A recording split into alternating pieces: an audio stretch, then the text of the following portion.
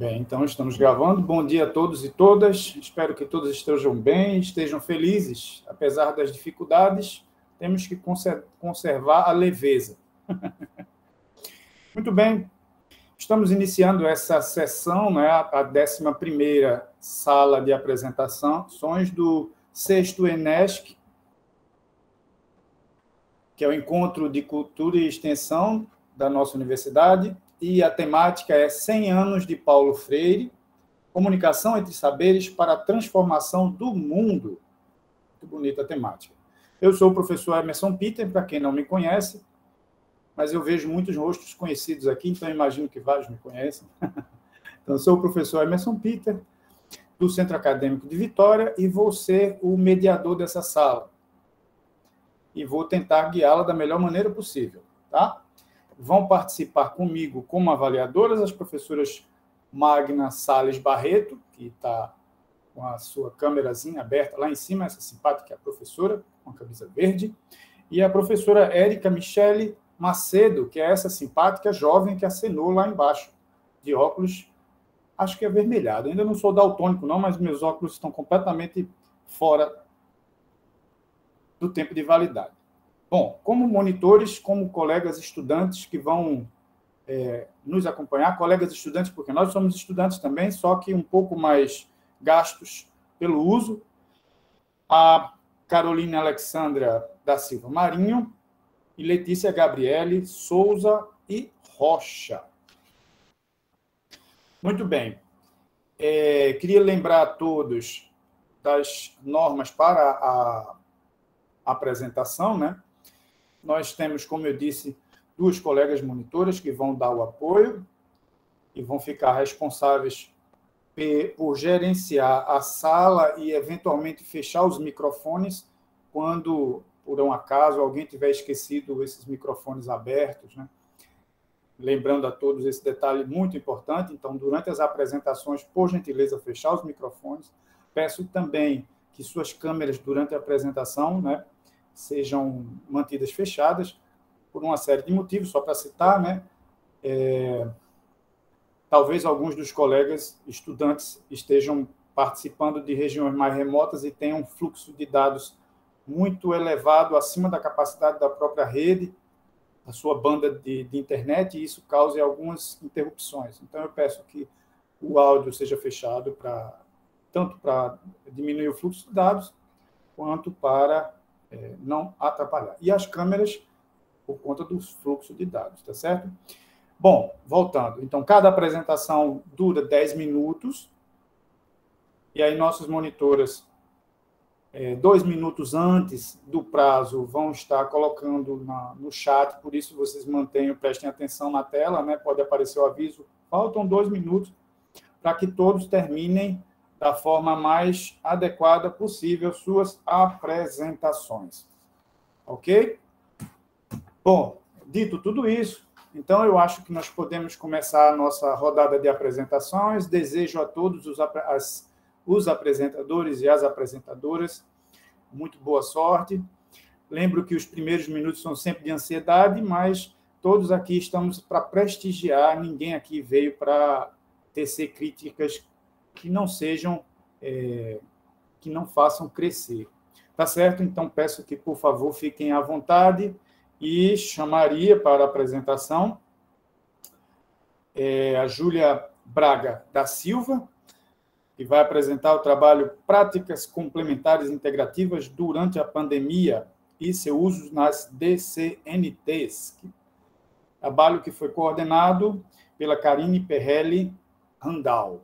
Por favor, fique à vontade. Tá certo, eu vou compartilhar um momento.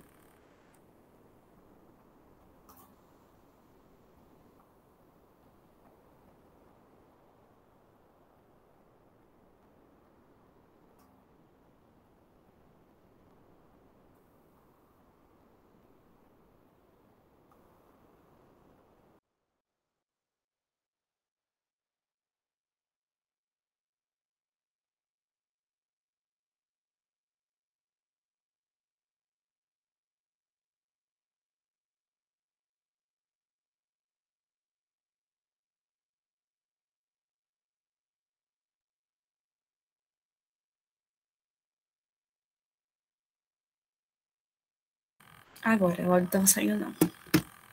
Deixa eu ver. Vou botar. Pôr um cronômetro aqui para os 10 minutos certinho. Um momento, professor. Deixa eu ver. Retomar. Parar.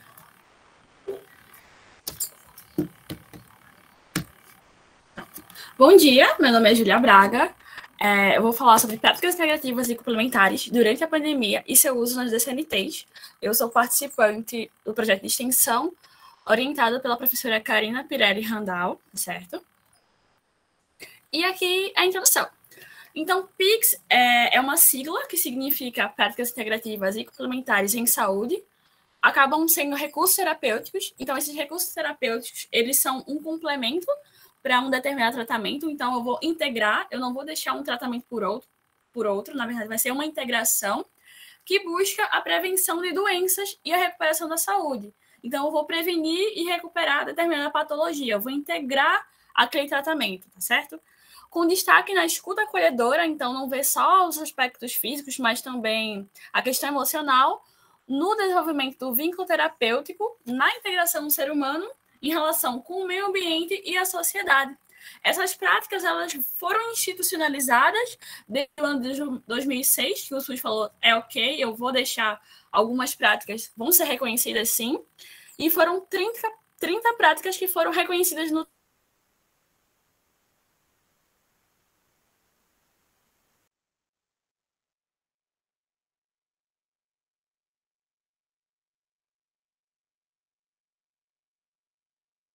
É, a utilização de PICs em doenças crônicas não transmissíveis favorece o restabelecimento do bem-estar e da saúde desses indivíduos, que é no caso da naturopatia, que ela vai ser um complemento de determinado tratamento, ela vai dizer, olha, tal alimento é bom para melhorar seu metabolismo, é, diminuir a glicemia. Eu não vou trocar um exemplo, psicologia por yoga. Eu vou complementar psicologia e a yoga. Nutricion, é, um, uma nutrição com nutricionista e a naturopatia. Vai ser tudo um complemento. Introdução. Então, por muito tempo, o conhecimento científico, eu não estou olhando o chat, tá certo? É, por muito tempo, o conhecimento científico não foi acessível a toda a população. Então, com o acesso à internet, a divulgação científica por meio das redes sociais acabou sendo mais rápido. Isso vai abordando diversos temas da saúde, então, essa divulgação científica, ela acaba permitindo a realização dessas atividades no âmbito domiciliar. Então, com a pandemia e o isolamento social, é, isso foi possível realizar algumas práticas em casa com a orientação, lógico, de profissionais da saúde por meio da internet, Instagram, YouTube, sendo que o nosso projeto de extensão foi realizado no Instagram, tá? A divulgação. Então, com esse cenário de pandemia, é, nesse contexto surgiu o projeto de extensão, que antes era realizado presencialmente, sendo que ele migrou para esse modo remoto online, que ele visa práticas integrativas e complementares em cuidados clínicos farmacêuticos na promoção da saúde. O projeto virtual, através da página em rede social, foi criado em 2020 e está desde 2020 aqui, né, atuando, sendo que agora em modo online. Temos três docentes, novos discentes e dois colaboradores externos do curso de graduação em farmácia, o FPE. Mas os objetivos. Então, quando eu digo que é, compartilha conhecimento interatividade, é uma junção de áreas. É um pouquinho de saúde, um pouquinho de educação, um pouquinho de comunicação e um pouquinho de cultura. As áreas se complementam com profissionais diversos. Pode ser um farmacêutico, um enfermeiro, um nutricionista, que vão atuar é, nessa vivência acadêmica, porque o objetivo é o impacto social, é a transformação social daquela comunidade. Ela vai ser bem orientada, ela vai entender mais sobre as PICs, como as PICs podem atenuar sintomas de pessoas que têm doenças crônicas. Então, é uma aplicação de conhecimentos multidisciplinares e caráter disciplinar. Então, na metodologia, é, foi dividida em alguns segmentos. O primeiro foi a página Florescer Integrativo, que por meio dessa página a gente divulgou, divulgou toda a pesquisa, é, com pesquisa de dados eletrônicos, a relação de PIX versus DNCNT, a produção textual. Essa produção textual ela foi bem elaborada com textos, imagens, imagens ilustrativas, GIFs que podem ser animados. O vídeo pode ser um Reels, que é um vídeo curtinho, ou um vídeo mais longo, que no caso é IGTV.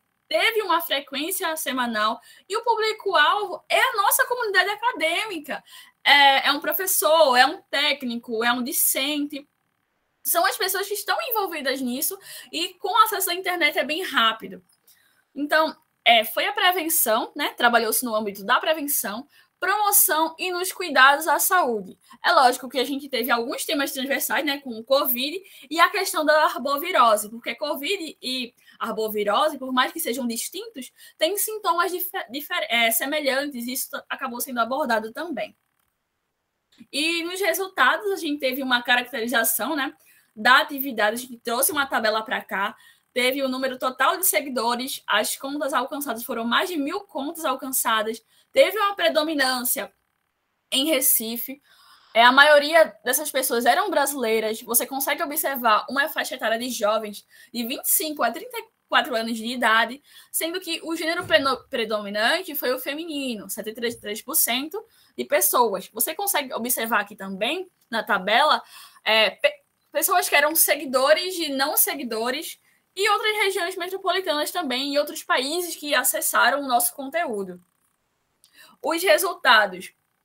É, teve a questão da produção de posts total, 160 publicações. A produção trimestral, 38.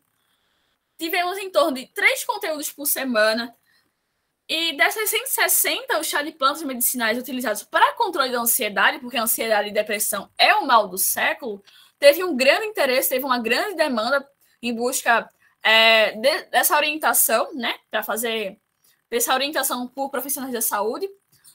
Teve cerca de 291 contas alcançadas, 112 interações e 24 atividades no perfil.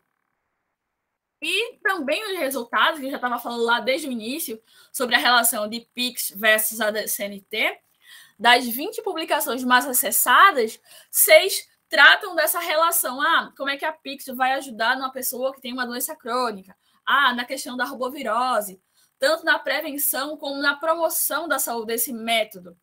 Então, tem a diabetes, correlacionada com a acupuntura, como é que a acupuntura poderia ajudar pessoas com diabetes, a biodança, é, quem tem hipertensão arterial, doenças respiratórias, yoga, meditação. Ah, a yoga vai me ajudar, fica mais tranquila, vai melhorar na minha ansiedade. Então, eu não vou deixar um psicólogo de lado, eu vou associar, eu vou associar a, a psicologia mais a meditação. Como eu já falei desde o início, é uma integração. É, o objetivo é aquela junção, né? Junção da comunicação, da cultura e da educação, e tudo isso vai gerar resultados ok? E na discussão, a gente sabe que as DCNTs são as principais causas de morte em todo o mundo, e esse número de óbitos ele, ele vem aumentando consequentemente, sendo que com a pandemia, pessoas que têm essas é, determinada patologia são propícias a desenvolver um quadro mais grave. Então, a gente busca alternativas não farmacológicas, mas que auxiliam o tratamento o aumento no acesso às redes sociais. Então, devido ao cenário atual, teve uma procura muito grande, isso aumentou, né, em cuidados à saúde, especialmente quem, quem tem DSNT, a questão da saúde men mental, a importância de evidenciar as arboviroses, e tudo isso impactou nas redes sociais. A divulgação de informação que se baseia em forma, com, com comprovação e eficácia da utilização do SAPIX, a questão da confiabilidade, as pessoas que tem um determinado preconceito, uma interpretação equivocada. Então, com a divulgação científica de forma correta, a gente consegue auxiliar, mesmo de forma online. A tecnologia em saúde e a extensão, as redes sociais passaram a ser uma ferramenta para práticas extensionistas. A importância das redes na difusão de informações, ok? É, questão da fake news, porque a gente sabe que você pega determinado conteúdo, publica lá, sei lá, no WhatsApp, sendo que não tem uma, uma fonte, não tem uma referência bibliográfica, então isso acaba afetando. E a conclusão que, em suma, é indiscutível a importância da tecnologia para a propagação de informações, em especial quando se trata da divulgação científica de assuntos relacionados à saúde. é, a gente não consegue separar a tecnologia de saúde. É, por exemplo, é a telemedicina. Hoje em dia é uma união, sendo que a gente não pode deixar também a questão presencial. A gente está integrando por causa do Covid atualmente, sendo que quando passar, lógico, né, esse período pós-pandêmico, a gente vai voltar às atividades presencialmente. Eu espero que vocês tenham gostado. Aqui são as referências bibliográficas e foi isso, minha gente. Foi isso. Terminei.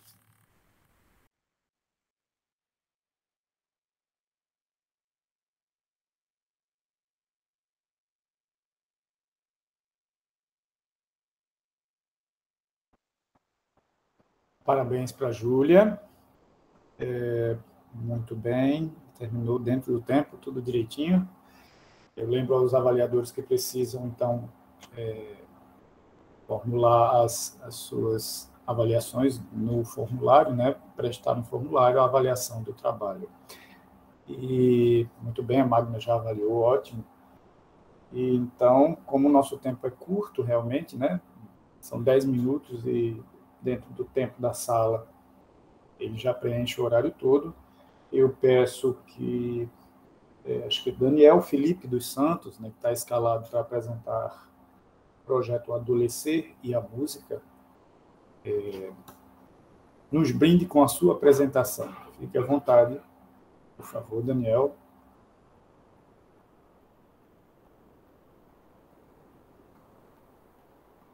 Opa, bom dia. Meu nome é Amsterdã. Eu bom vou apresentar também o, o projeto é, em nome do grupo. Sou um dos autores também. Vou apresentar aqui a tela.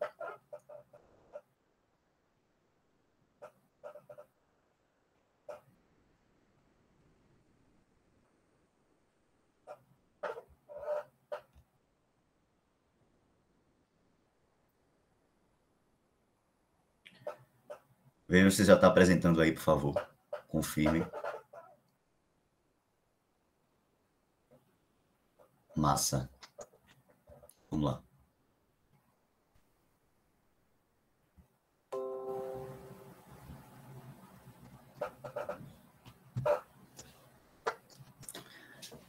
Beleza, bom dia pessoal. Meu nome é Amsterdã. Eu faço parte da Universidade Federal de Pernambuco, do CAV, Centro Acadêmico de Vitória. É, sou graduando de Educação Física, bacharelado, e de antemão já queria agradecer a oportunidade de estar participando assim de um evento tão significativo como este encontro de extensão cultural. É um grande prazer para mim e ainda mais é, falar um pouco de um tema que eu gosto muito, que é música, principalmente atrelado a esse projeto que tem uma significância muito importante, que é o projeto Adolescer. Então, já queria agradecer a todos pela oportunidade principalmente pela minha orientadora, Rosana Ximenes, juntamente com todos os autores que junto comigo fez acontecer é, todo esse projeto, Aline Nanias, Daniel Felipe e Plínio Duarte. Minha gratidão. É, o projeto Adolescer, ele tem uma importância muito significativa, porque, de fato, ele tem essa proposta de ações preventivas relacionadas à saúde, é, principalmente com o foco aos adolescentes, é, à juventude. Ele vem em atividade aí há 10 anos, trabalhando com isso, com as intervenções e a participação de ouvidoria em colégios e escolas daquele Vitória de Santo Antão. Ele está ativo aqui na Universidade Federal de Pernambuco, no Centro Acadêmico de Vitória, e tem justamente essa finalidade. Faz parte também do edital do PIBEX, e nós temos esse projeto com esse intuito de ter essa troca de conhecimentos, principalmente com os adolescentes, que serão as gerações futuras que irá carregar nosso país é, na Escócia, se a, gente, se a gente assim pode dizer. É, de fato, esse projeto é muito grande e é belíssimo, porque ele tem uma troca impressionante com os outros cursos. Então, é um projeto multidisciplinar.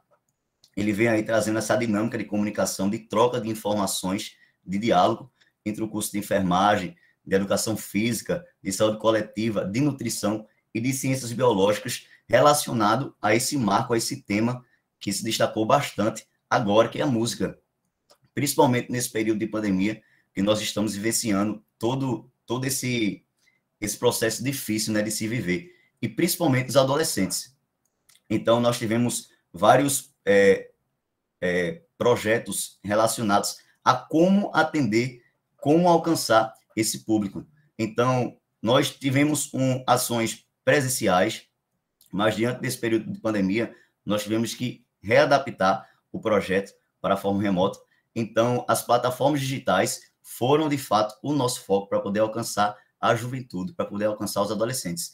Então, usamos o Instagram, usamos o Facebook, o YouTube, para poder ter essa troca de conhecimento, ter essa troca de diálogo com os adolescentes. E principalmente agora, é, algumas semanas, na semana do dia 22, que foi o dia que celebramos o dia de Santa Cecília, foi a Semana da Música, em homenagem ao músico, nós tivemos vários pôsteres, que inclusive eu irei mostrar alguns deles aqui, discutindo temas muito importantes, justamente para poder incentivar a importância da música com o projeto Adolescer para os adolescentes. Então, o projeto também tem sessão de estudantes e egressos do curso de música da Universidade Federal de Pernambuco. Inclusive, tivemos vários profissionais de música é, ministrando, ministrando palestras, ministrando lives. Também temos o auxílio de discentes e egressos, já pessoas graduadas, que também se voluntariam para poder fazer esse projeto acontecer. E, de fato, como eu falei, nós temos o Instagram, as plataformas digitais, para poder ter esse alcance ao público, que são os adolescentes. Então, nós tivemos aí várias, é, várias criações de conteúdos para poder incentivar e instigar ainda mais os adolescentes, instigar o público. Como falei, palestras, rodas de conversas com escolas especializadas, elaboração de projetos também de pesquisa sobre a música e neurociência, fazendo essa comparação, essa correlação entre a música e a neurociência, porque de fato há o benefício, é, e já, estudos já comprovam tudo isso, principalmente em adolescentes. E o adolescente tem de fato essa base principal, que é promover discussões pertinentes aos adolescentes e também promover discussões de benefícios do uso da música.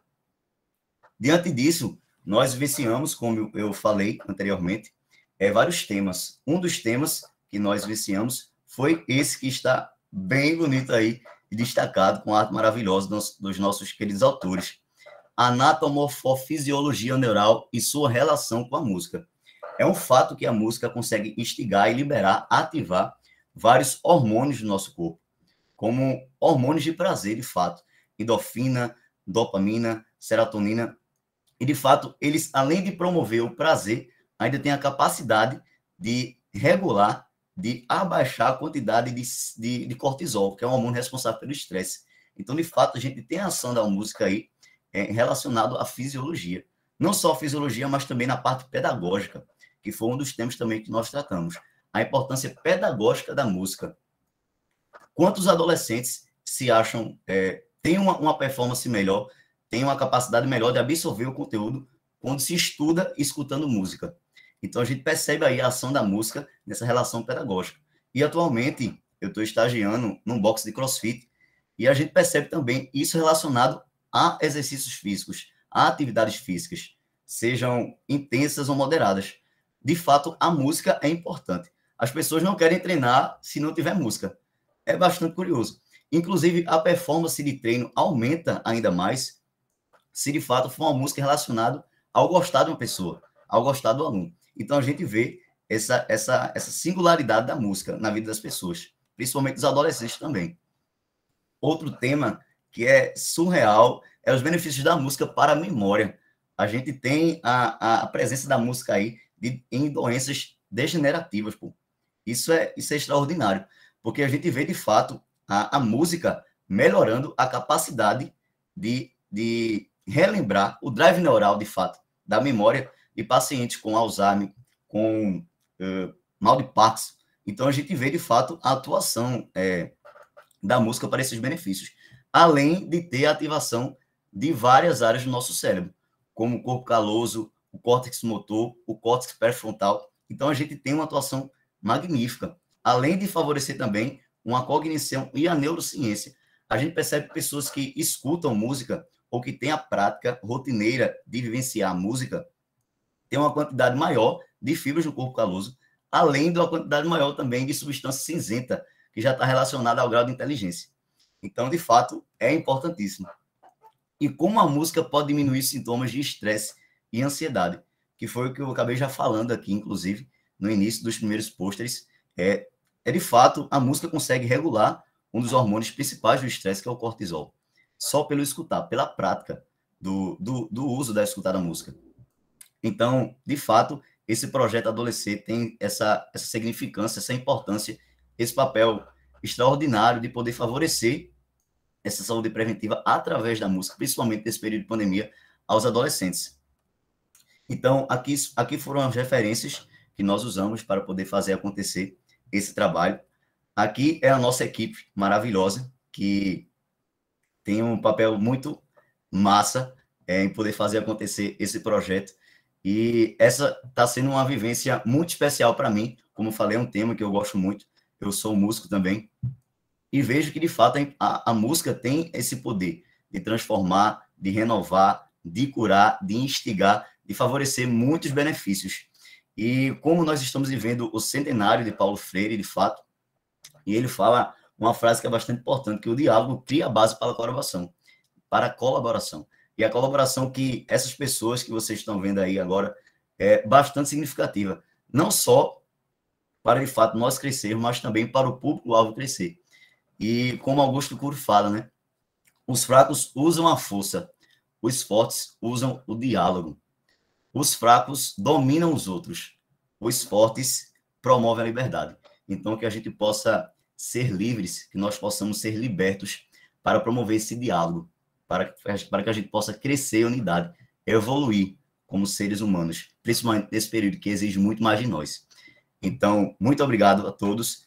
Aqui são algumas plataformas digitais que nós temos com o projeto em atividade, que é o Instagram, o Facebook e o YouTube.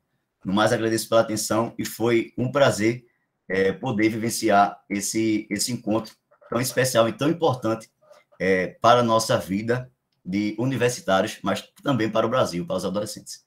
Muito obrigado.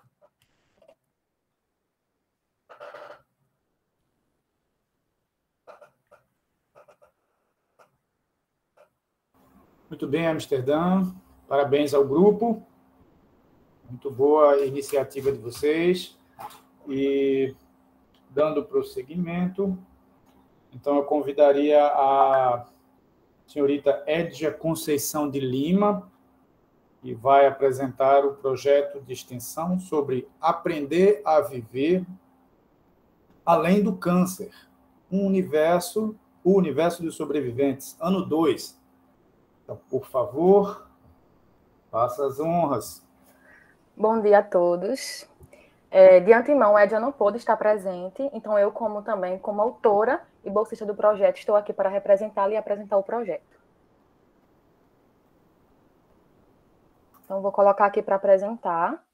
E aí vocês me avisam se o slide está passando, porque muitas vezes, quando eu coloco para apresentar, o slide ele não consegue passar. Aí vocês me dão um retorno.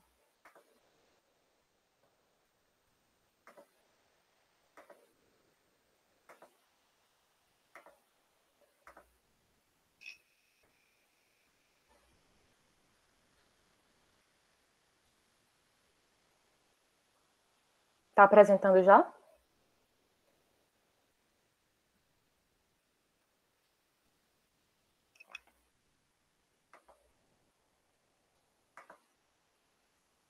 Sim. Certo, então vou dar início aqui. Bom dia a todos. Meu nome é Geisiane Kelly e vou apresentar justamente esse trabalho que é o projeto de extensão intitulado Sobre Aprender a Viver Além do Câncer, o Universo dos Sobreviventes, ano 2, que é justamente um projeto de extensão que é orientado pela professora doutora Rafaela Azevedo Abrantes. Então, inicialmente, para que a gente consiga entender aonde o, aonde o projeto está inserido e aonde o projeto atua, é, em meio aos avanços nos tratamentos oncológicos, isso possibilita que esses pacientes eles apresentem melhores prognósticos e isso acaba fazendo com que esses pacientes oncológicos eles apresentem maiores chances de sobrevivência ao câncer. Então, a rede de saúde ela tem justamente esse interesse de acompanhar os pacientes oncológicos ao término de seus tratamentos e também acompanhar o seu retorno ao contexto social. E isso permite justamente compreender quais são as principais necessidades de saúde dos sobreviventes do câncer e assim conseguir criar estratégias de cuidado que visem justamente suprir as necessidades de saúde desses sobreviventes. É, contudo, em meio a isso, existe um grande déficit de um grande déficit na atenção primária, justamente em conseguir assistir os sobreviventes do câncer. Então, aqui no município de Vitória de Santo Antão, a gente realmente percebe esse grande déficit da atenção primária em conseguir realmente é, assistir, cuidar, prestar assistência a esses pacientes. Então, o projeto de extensão ele tem justamente essa proposta de conseguir aumentar o vínculo entre a unidade básica de saúde e os sobreviventes do câncer, justamente com a tentativa de melhorar a qualidade de vida desses pacientes. Então, o principal objetivo do projeto é justamente acompanhar os sobreviventes do câncer após o término dos seus tratamentos oncológicos e assim poder intervir com ações de educação e promoção em saúde diante das necessidades que são apresentadas por esses sobreviventes do câncer. O local de execução do projeto são diversos. Então, a gente atua nas unidades básicas de saúde do município, dentre os bairros que a gente atualmente está atuando. Está justamente a UBS do Cajueiro, Maués, Lagoa Redonda, Bela Vista, Militina, Águas Brancas, entre outras unidades básicas de saúde do município. A gente também atua na Secretaria Municipal de Saúde, é, coletando dados na secretaria por meio do programa do TFD, que é o tratamento fora de domicílio, e por meio da Central de Regulação. E também a gente atua em domicílio, utilizando por meio do programa Melhor em Casa. Então, a gente vai a domicílio, identifica quais são os pacientes oncológicos e lá executa a nossa ação de coleta e de promoção de saúde. O público-alvo do, do projeto são justamente sobreviventes do câncer que são residentes do município de Vitória de Santo Antão. Como parcerias, a gente tem justamente vinculado ao nosso projeto a Secretaria Municipal de Saúde, como já foi dito, então, a gente coleta justamente os dados que são do arquivo da secretaria, por meio justamente do tratamento fora do domicílio, que é justamente o programa utilizado pelos pacientes é, para conseguir se deslocar de Vitória de Santo Antão para Recife e assim conseguir efetuar os seus tratamentos. E também por meio da central de regulação, que é justamente o programa que é utilizado para conseguir realizar o encaminhamento dos pacientes para Recife. Então, a metodologia que é utilizada para a execução do projeto, ela é sistematizada em quatro etapas. Então, na primeira etapa, houve justamente é, o levantamento dos dados desses pacientes. Então, a gente conseguiu justamente identificar quais eram os pacientes oncológicos do município de Vitória de Santo Antão. Após o levantamento de dados, a gente entra na segunda fase do, pro, do projeto, que é justamente entrar em contato com esses pacientes, justamente para conseguir identificar todo o seu contexto clínico, social. E aí, a partir disso, após as entrevistas, né, quando a gente entra em contato com esse paciente, a gente entra na terceira fase do projeto, que é justamente a construção do ecomapa e do genograma, com base nos dados que a gente conseguiu coletar na segunda fase.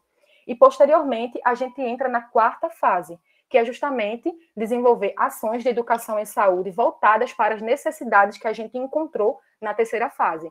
Então, frente à pandemia da Covid-19, no ano 1 um do projeto, a gente só conseguiu executar até a terceira fase. E aí, a quarta fase, a gente não conseguiu executar, mas a gente pretende executá-la no ano 2 do projeto, que é o atual. Então, dentre as atividades desenvolvidas no ano 1 um do projeto, a gente fez a coleta de dados de 113 pacientes e destes a gente subdividiu em três grupos. Grupo A, câncer de mama, e grupo B e C, os demais tipos de cânceres, então, a gente fez o acompanhamento remoto via telefone, né, devido à pandemia da Covid-19. Então, a gente fez esse acompanhamento. Os pacientes que aceitaram participar do projeto, a gente fez a aplicação do instrumento de coleta, justamente para entender todo o contexto clínico, social desses pacientes, e assim a gente construiu o genograma e o ecomapa. Já na, no ano 2 do projeto, né, que a gente iniciou recentemente, o ano 2 do projeto, então a gente, no momento, está realizando visitas nas unidades básicas de saúde no município de Vitória, justamente para coletar dados desse paciente, desses pacientes, e assim conseguir visualizar quais são os pacientes que são assistidos pelas unidades do município. E nossas perspectivas futuras são justamente conseguir aumentar o número de sobreviventes ativos participantes do projeto.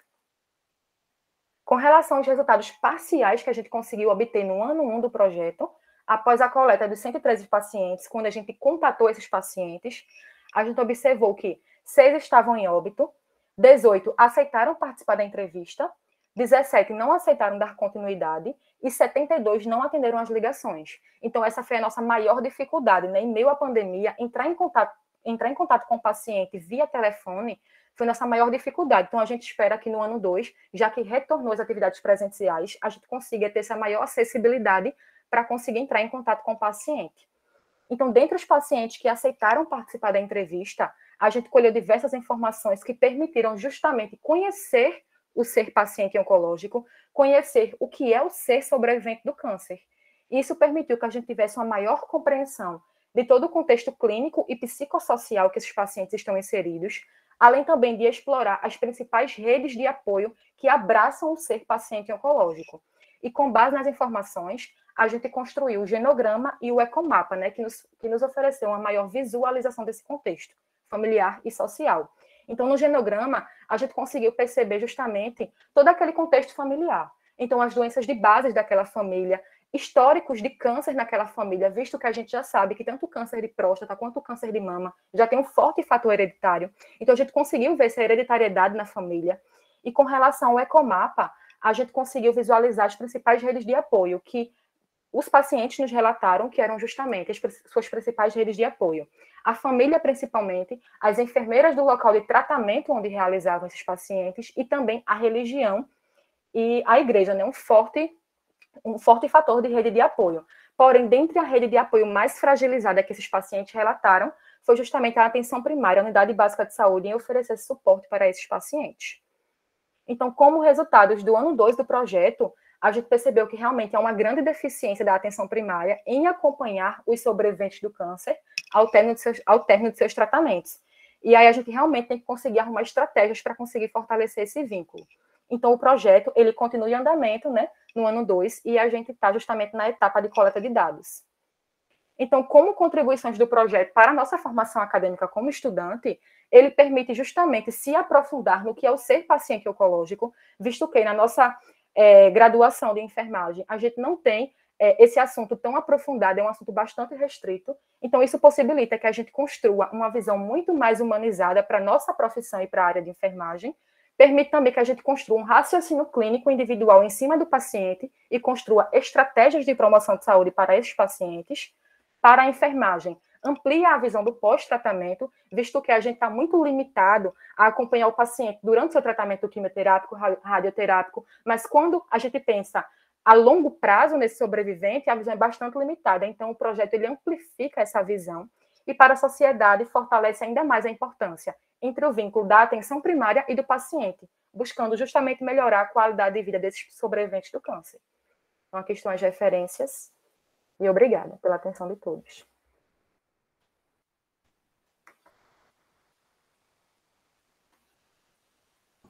Tudo bem, Gisiane?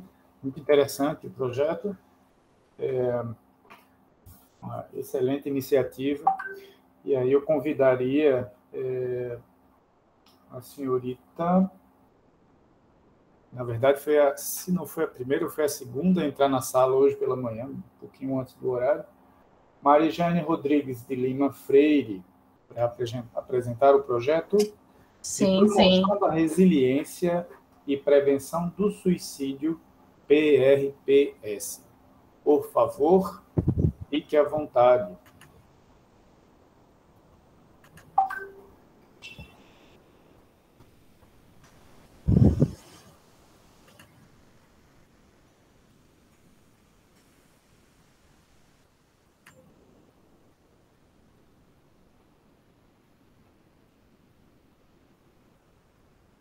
Está é, tá aparecendo para vocês? Alô? Tá sim, Maria. Tá sim. Pronto. A partir de agora eu não vou ver ninguém. Posso começar?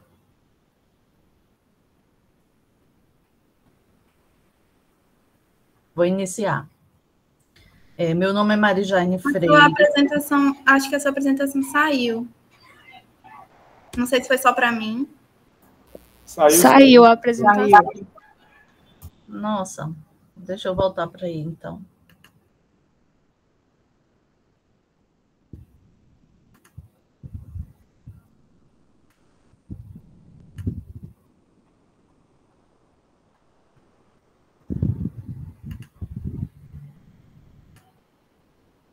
Pronto, agora voltou. Pronto, vou começar. É, meu nome é Marijane Freire, eu sou doutoranda do programa de pós-graduação em Psicologia Cognitiva aqui da UFPR Recife e participo do PRPS desde 2017. É, PRPS é um projeto de extensão que investiga ações que promovem a resiliência e previnem comportamentos suicidas. É, estão envolvidas nesse trabalho é, a professora Maria Lucicleide Falcão, eu, Marijane Freire, Nayara Carla, Pedro Vinícius, Verônica Barros, Wagner Bourbon. E Rubenilda Maria Barbosa, que é orientadora e coordenadora do projeto. Eu inicio falando um pouco do panorama do suicídio entre o final do século XX e o início do século XXI, quando a Organização Mundial da Saúde alertou sobre o aumento das taxas de suicídio em todo o mundo, sobretudo entre a faixa etária de 15 a 29 anos, que figurava como a segunda principal causa desse tipo de morte em todos os países industrializados, incluindo-se nessa faixa etária a maioria dos casos envolvendo estudantes universitários. É, a partir disso, foi lançado um plano de ação sobre saúde mental, incluindo suicídio, para o período compreendido entre 2013 e 2020, é, cujo plano resultou num decréscimo de 36% na taxa de suicídios global, conforme o último relatório da OMS de 2021, com a faixa etária de 15 a 29 anos passando da segunda para a quarta posição, porém com diferenças regionais é, em que o continente americano não alcançou esse decréscimo. Contudo, o índice global ainda continua alarmante no mundo. É, diante de tudo isso, o objetivo do PRPS é, por um lado, sensibilizar acerca da questão do suicídio a comunidade acadêmica da UFPR Recife, escolas públicas e algumas ONGs circunvizinhas à universidade. E, por outro lado, realizar ações que estimulem o fortalecimento de indivíduos e ou grupos que estejam em situação de vulnerabilidade psicossocial quanto ao risco da conduta suicida. É, o PRPS ele é subdividido em subprojetos.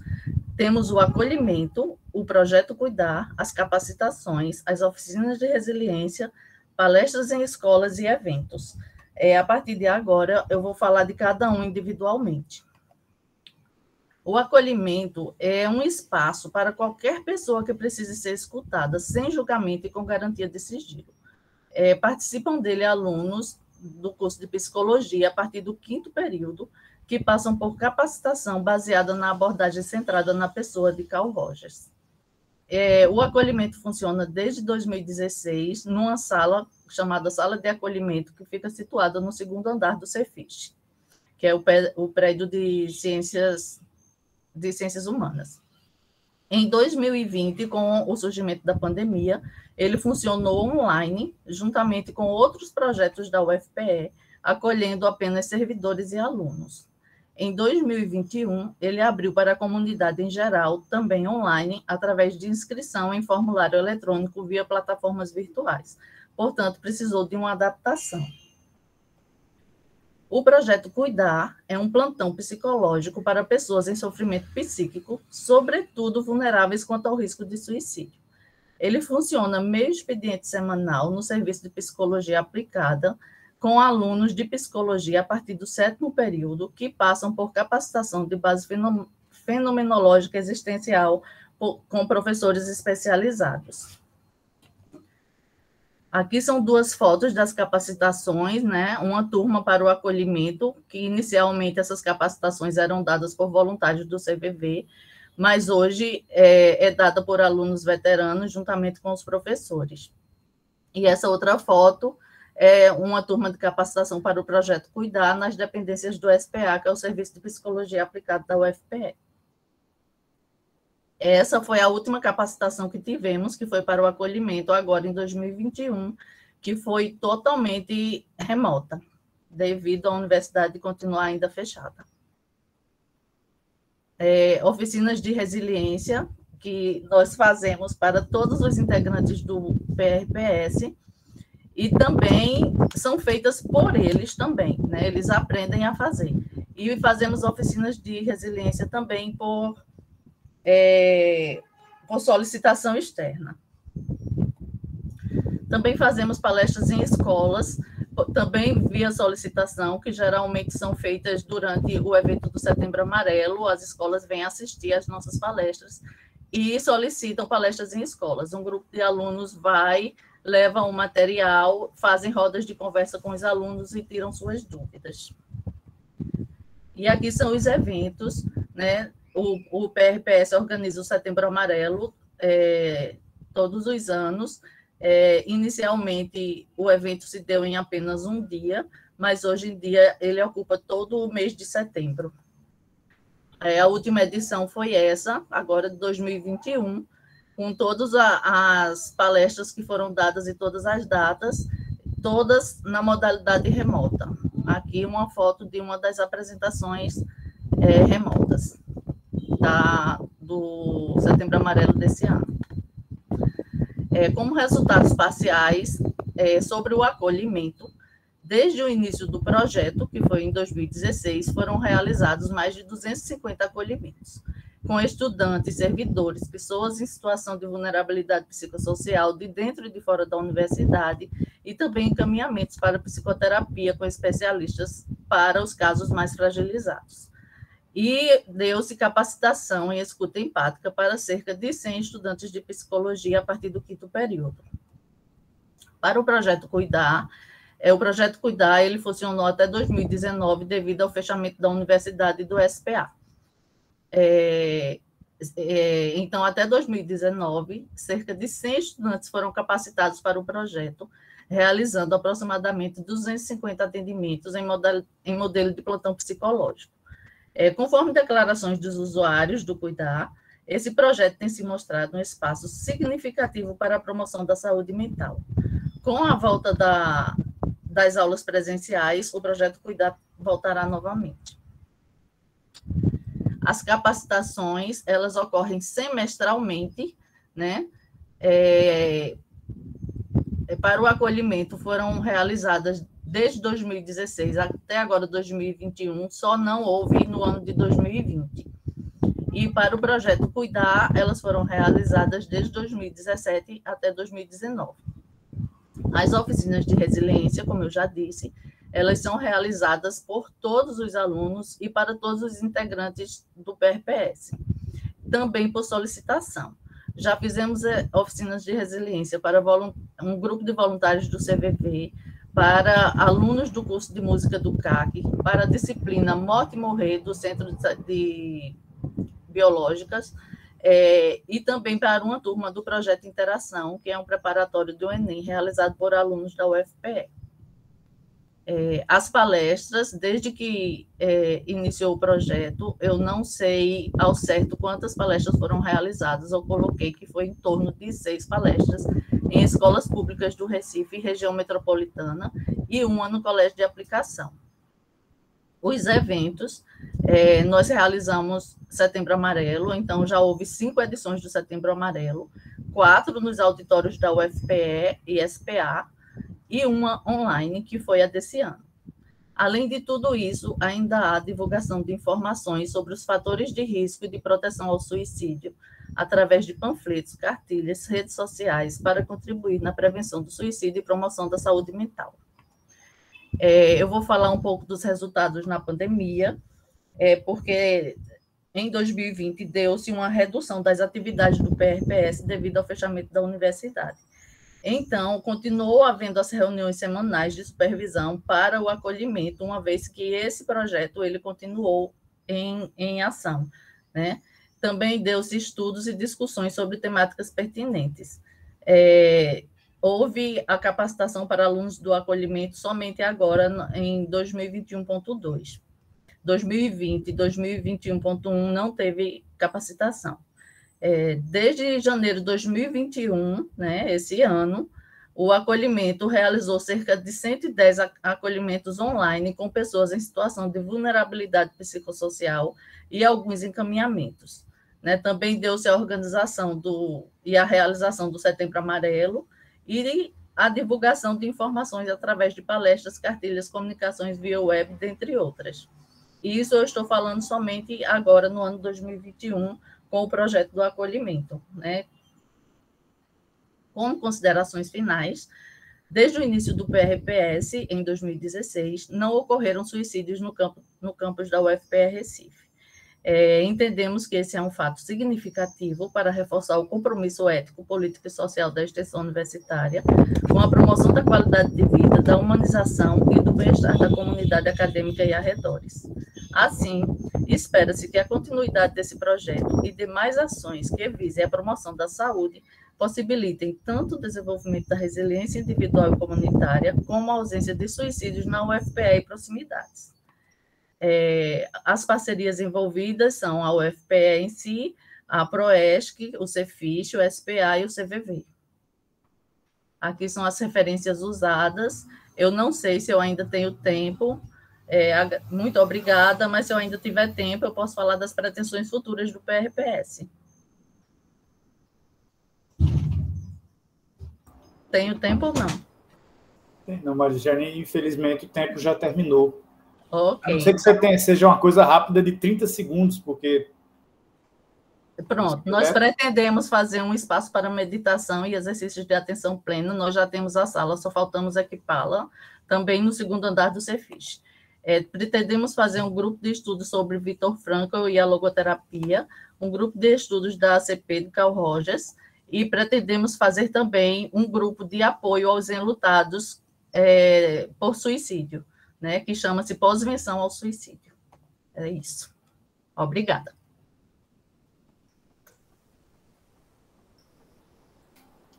Muito bem, excelente trabalho, né? Muito bem, ótimo, parabéns. É, muito obrigado. E aí, sem perdermos muito tempo, eu gostaria de convidar a senhorita Ellen Thaís Araújo, de Lima, o trabalho se intitula Promoção da Saúde da Gestante, abordagem da obesidade no período gestacional, ano 5. E foi coordenado pela Cristina de Oliveira Silva. Por favor, Ellen, fique à vontade para usar da palavra. Obrigada. Bom dia a todos. Vou começar a apresentação.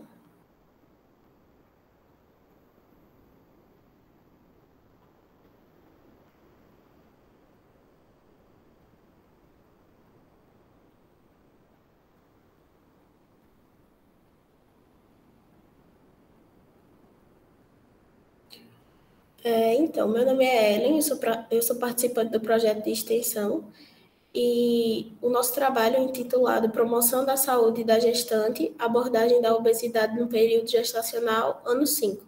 É, a nossa orientadora é a professora Cristina de Oliveira Silva.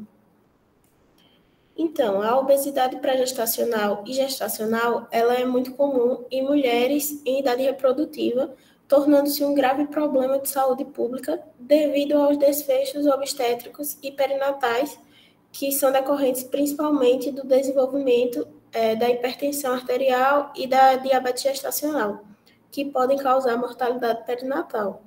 A obesidade na gestação é uma condição de alto risco que requer o conhecimento dos principais problemas e estratégias para enfrentá-la, é, sendo agravada atualmente pela Covid-19 aumentando ainda mais o desfecho de mortalidade.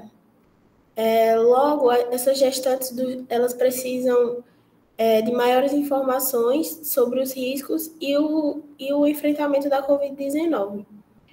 Dessa forma, o nosso projeto ele teve como objetivo sensibilizar essas, essas gestantes atendidas nesse serviço de saúde é, e também sensibilizar os alunos de graduação sobre o risco da obesidade na gestação agravada pela Covid-19 e permitir, através da interdisciplinaridade e interprofissionalidade, o entendimento da complexidade do processo de saúde e doença, prevenindo agravos ao público-alvo. É, atualmente, o projeto ele trabalha com as gestantes que, que estão sendo atendidas no Centro de Especialidade de Saúde, é, de Saúde da Mulher, que é uma clínica lá na cidade de Gravatá. E é, para isto, o nosso processo metodológico ele se baseou nos princípios da interdisciplinaridade e interprofissionalidade, como eu já havia dito antes, é onde o nosso projeto ele vai abordar diversas disciplinas, como, por exemplo, a fisiologia, saúde da mulher e nutrição. É, e interprofissionalidade, devido à participação de diversos profissionais, como enfermeiros, que é, nós estamos trabalhando com um enfermeiro que ele trabalha é, na, no Centro de Especialidade da Saúde da Mulher, lá em Gravatar, biomédicos e nutricionistas, entre outras competências na área é, de educação e saúde. Essas informações é, que nós utilizamos para construir o nosso, o nosso trabalho, elas é, estavam disponíveis na literatura nos anos de 2020 e 2021 e foram abordados através de reuniões virtuais e relatos de experiência dos profissionais da assistência à gestante. As informações educativas elas foram desenvolvidas pela integração dos discentes, dos docentes e dos profissionais de saúde. É, vale destacar também que nos anos anteriores nosso projeto ele traçou um perfil sociodemográfico dessas gestantes e identificou que muitas mulheres possuem baixa renda, baixa escolaridade e principalmente elas possuem uma alimentação muito inadequada. É, então, desse modo, nós começamos a produzir cartilhas e folders com linguagem adequada e acessível para atender essas gestantes de alto risco e as puérperas. Aí eu trouxe um exemplo de um folder que nós produzimos falando sobre hipertensão.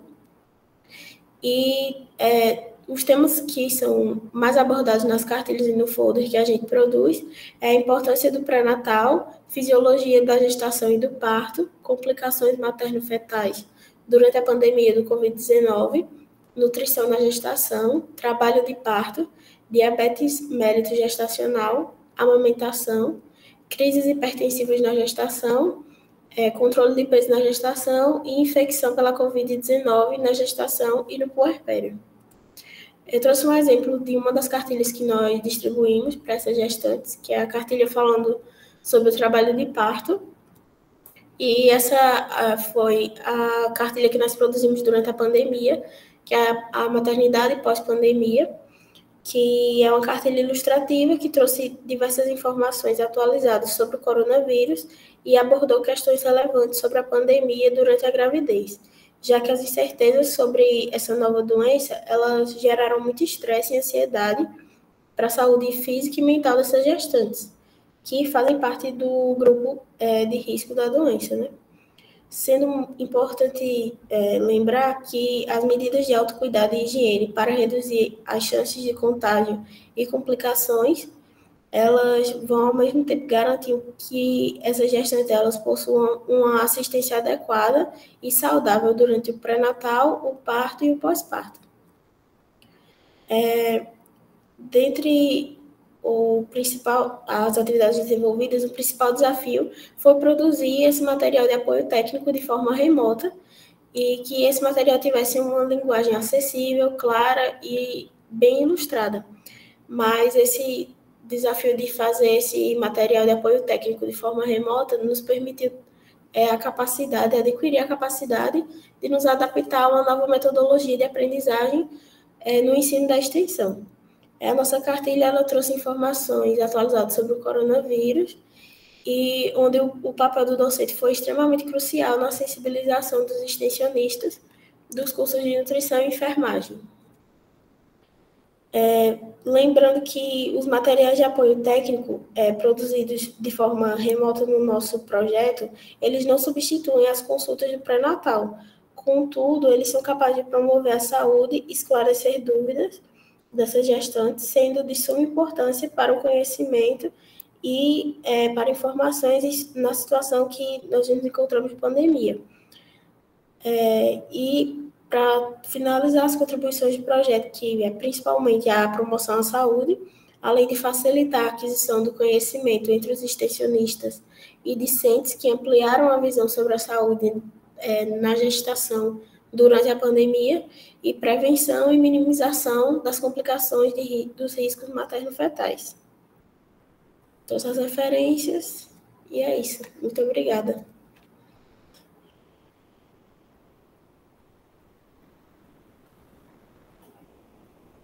Parabéns, Ellen. Parabéns a Cristina, Cristina de Oliveira, professora Cristina. Ótimo trabalho. Obrigado pela apresentação. E gostaria de convidar, então, para a próxima apresentação a senhorita Gabriela Moraes Andrade de Lima.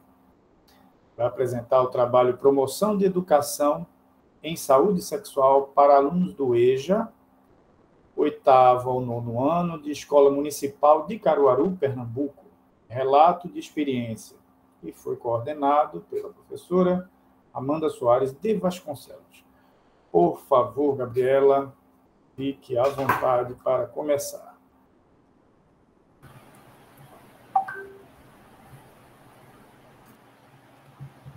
Oi, bom dia. Vou começar a apresentar aqui. Só um segundinho.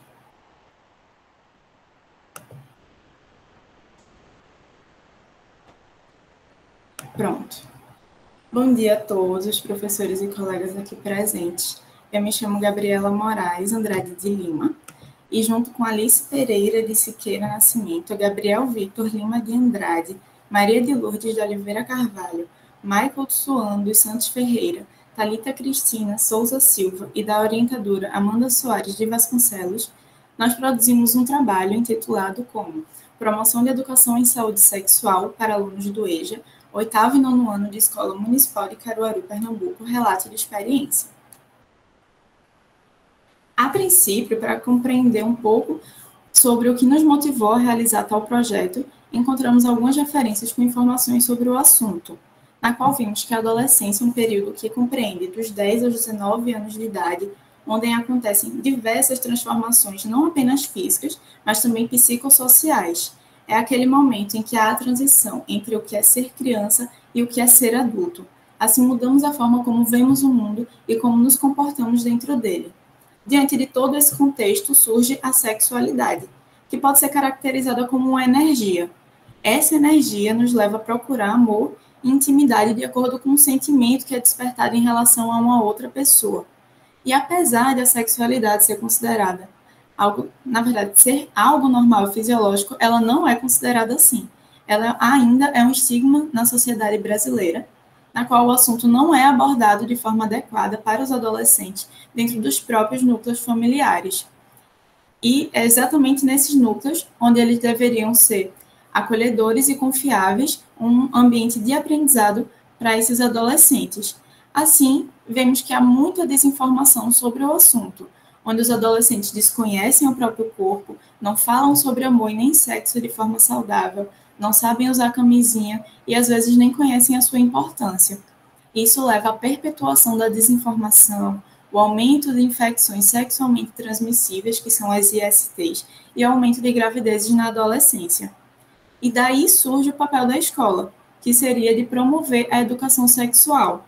Assim, ela pode informar, instruir, educar, oferecer informações seguras e confiáveis acerca do tema, oferecer também um espaço confiável para tirar dúvidas e compartilhar sentimentos. E uma das formas disso acontecer é exatamente levando a extensão universitária para o ambiente escolar. Dessa forma, nós temos como objetivo do projeto relatar a experiência do ensino de conteúdos relacionados à saúde, como a fisiologia reprodutiva, mudanças corporais, sexualidade, violência contra a mulher e STs para alunos do EJA, oitavo e nono ano do ensino fundamental de uma escola municipal de Caruaru, Pernambuco. Dessa forma, como temos a extensão universitária atuando de forma complementar ao ambiente escolar, vemos que ela também tem o papel de promover saúde sexual, a partir do momento que ela ultrapassa as barreiras físicas da universidade, podendo atenuar a exclusão social, ela promove também uma abordagem multidisciplinar e holística e leva à transformação dos sujeitos, que são os adolescentes, em sujeitos ativos. Assim, conseguimos promover uma educação em saúde sexual e fortalecer o tripé universitário de ensino, pesquisa e extensão. Diante disso, temos como metodologia do projeto. É, prim, a, o primeiro passo foi a escolha da escola, né? A escola municipal em Caruaru escolhida foi a professora Tereza Neuma Pereira Pedrosa.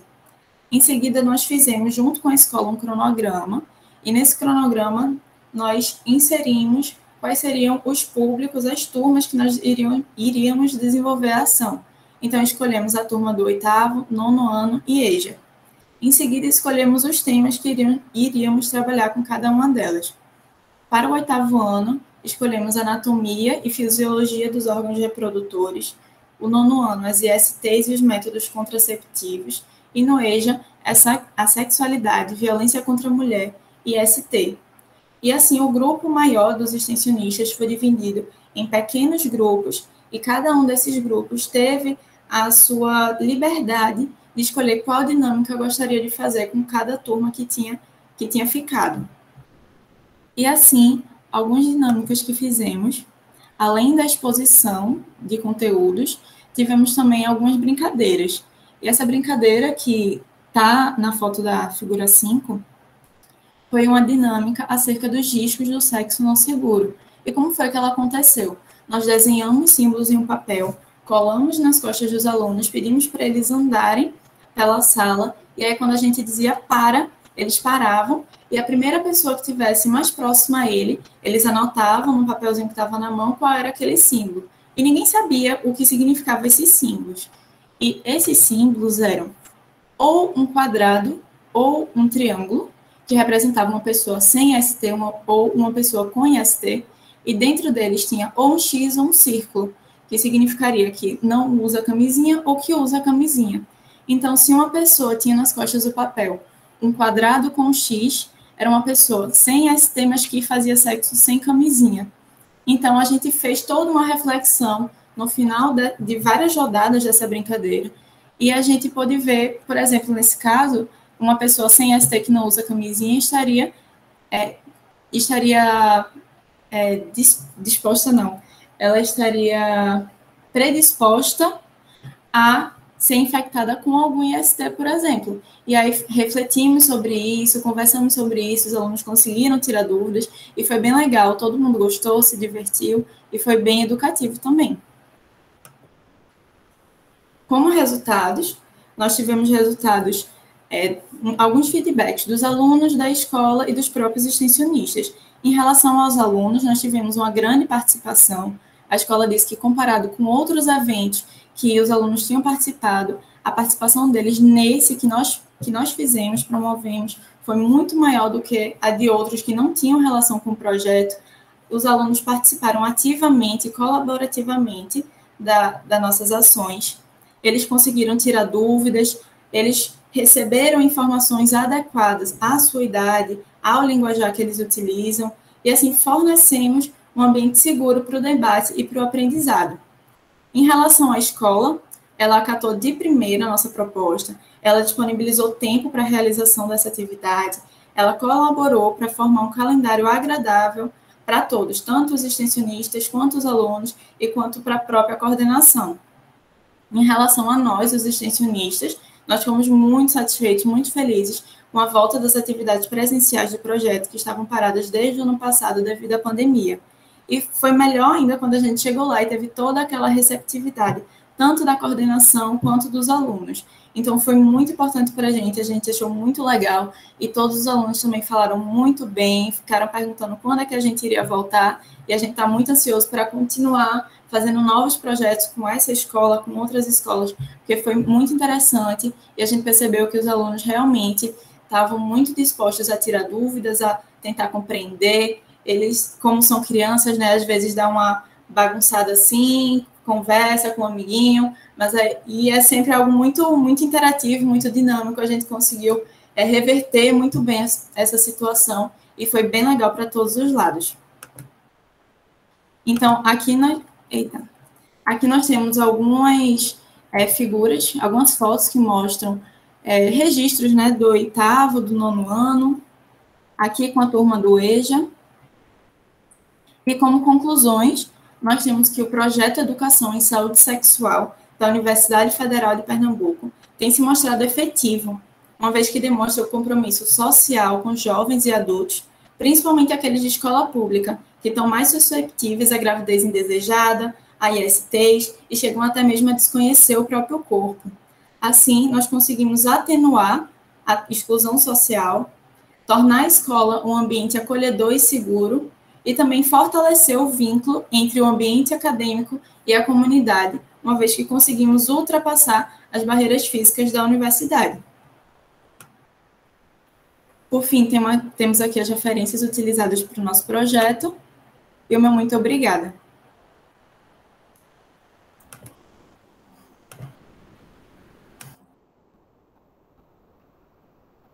Parabéns, Gabriela. Excelente trabalho. Nós estamos tendo ótimos trabalhos para assistir. Então, realmente muito, muito bem. Ótimo.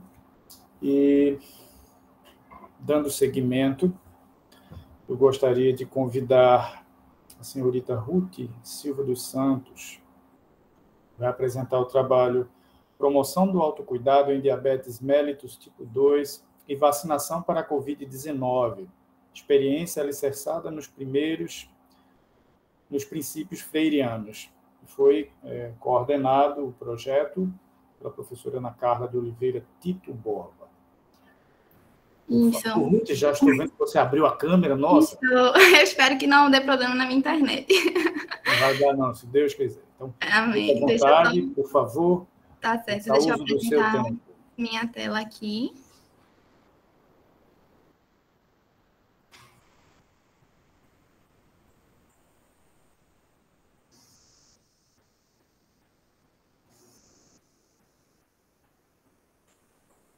Vocês estão vendo a apresentação? Estamos. Sim. Ótimo, deixa eu colocar aqui para apresentar. Estão vendo o slide? Sim. Sim. Certo, gente. Primeiramente, eu peço desculpa se vocês escutarem algum barulho aqui, mas eu estou em casa.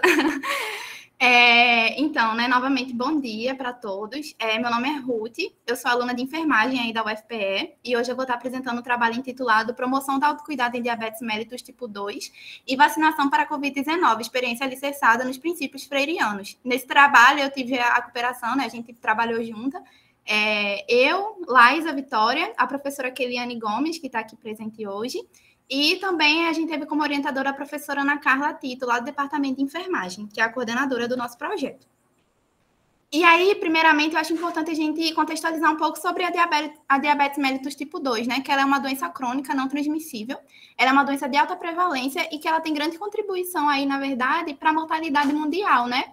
E aí, visto isso, nesse sentido, a gente tem a educação em saúde como uma ferramenta de promoção da saúde, porque quando o profissional de saúde ele utiliza essa estratégia, ele, a gente percebe que ela é fundamental nessa promoção do autocuidado em diabetes, visto que ela vai poder aí, né, motivar e também informar tanto esse indivíduo com diabetes como a sua família no controle glicêmico. E aí vai ter uma repercussão muito boa, né, na qualidade de vida desse indivíduo.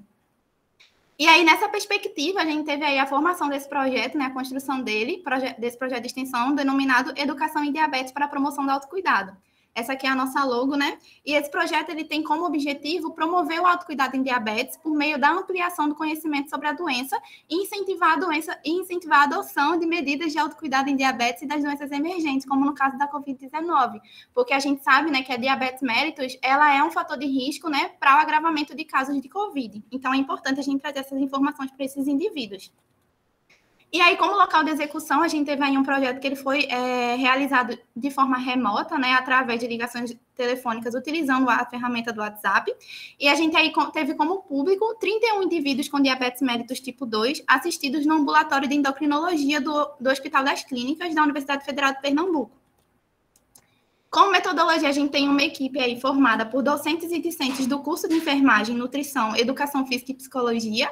Então, a gente tem aí um grupo, né, com interdisciplinaridade, né, porque a gente sabe que a saúde, a gente quer dar essa assistência em saúde de uma forma integral, né. Então, é importante a gente ter é, essa articulação de saberes, né, entre esses cursos. É, e aí, a partir disso, né, dessa equipe, a gente teve também a identificação desses pacientes através do prontuário disponibilizado pelo serviço, né, no caso HC, e posteriormente o convite para participação.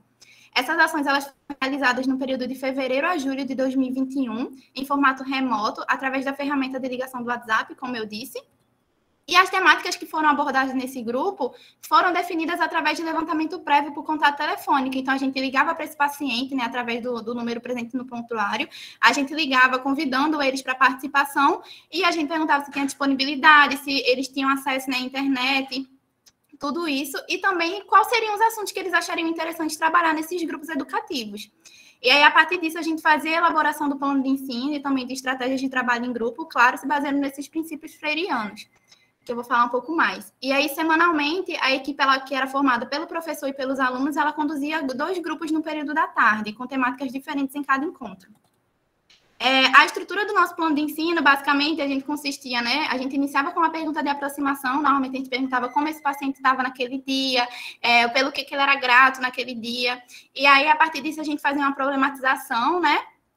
É, em que a gente normalmente fazia uma pergunta para teste, para saber mais ou menos ali o, que, o conhecimento prévio deles, e fazer essa problematização, porque a gente queria que eles falassem também, a gente não queria que fosse uma atividade educativa em que os educadores, né, assim, seriam o centro da atividade, não, a gente quer que eles sejam protagonistas daquele processo, e aí, a partir disso, a gente fazia uma fundamentação teórica que era seguida pela reflexão teórico-prática, então a gente pegava toda aquela teoria que a gente estava falando ali, a gente estava conversando e tentava aplicar para a prática deles, né, para o dia a dia, para aquilo que eles vivenciavam todos os dias. E aí, a partir disso, a gente também tinha a elaboração coletiva das respostas. E, no final, a gente finalizava com uma síntese né, de tudo aquilo que foi vivenciado no grupo e uma avaliação, em que a gente perguntava a eles é, o que, que eles tinham achado do grupo, é, se eles tinham gostado, se eles pretendiam aderir às próximas atividades. E aí, como atividade desenvolvida, a gente teve aí um projeto, né, que ele trouxe essa discussão dessas temáticas através de uma perspectiva interdisciplinar, como eu havia dito, na qual os estudantes e os professores, eles atuaram como mediadores do processo educativo. Então, a gente estava ali só observando, mediando, e realmente quem falava mais, né, quem participava, quem conduzia aquilo ali, era me mesmo os indivíduos, né? E era bem interessante porque eles eram bem participativos. A gente teve como tema, né, que foi sugerido por eles também, o cuidado pós-vacinação, ganho de peso, consumo de álcool e frutos do mar, escolhas alimentares e vitamina D, desinformação e fake news, vacina da Covid-19, esperança e medo novo normal. Então, são todos temas, né, que articulam a questão da diabetes, do autocuidado na diabetes, com também é a questão da prevenção da Covid e, da, e a importância da vacinação. É aí, novamente, né, no nosso plano de ensino, a gente iniciava, né, com aquela, como eu falei, a problematização, em que a gente tinha essa pergunta pré-teste para identificar esse conhecimento, esse conhecimento prévio deles, e a partir disso a gente ia trabalhando, né, através daquela, daquelas respostas, e a gente finalizava com essa pergunta pós-teste, que era mesmo feita no início, né, da pergunta pré-teste, para a gente fazer essa comparação, né, e ver essa análise da efetividade desse processo ensino-aprendizagem. E aí, no final, a gente fazia essa avaliação de o que, que eles tinham achado no grupo, né? Essa pergunta de satisfação e também de adesão para as próximas atividades, já que essa, esse grupo ele acontecia semanalmente. É, e aí, como resultado principal, a gente tem aí que a educação em diabetes, por meio da tecnologia digital, né, no caso o WhatsApp, nesse contexto de pandemia, permitiu que as informações compartilhadas alcançassem esses indivíduos, apesar dessa necessidade de distanciamento social, promovendo essa adesão de práticas positivas para o manejo da diabetes e também o esclarecimento de dúvidas relacionadas ao autocuidado e à importância da vacinação contra a Covid-19. E aí, como contribuição né, do projeto na formação acadêmica do estudante para a sociedade, pessoalmente eu posso dizer né, que, como estudante de enfermagem, né, estudante de, como uma futura profissional de saúde, é muito importante essa oportunidade de atuar em ações de saúde com caráter muito profissional e interdisciplinar, já que a gente está se formando né, para atuar no contexto de SUS, né, que é um contexto que ele vai atuar através desse caráter disciplinar para promover uma saúde integral a esses pacientes, a esses usuários.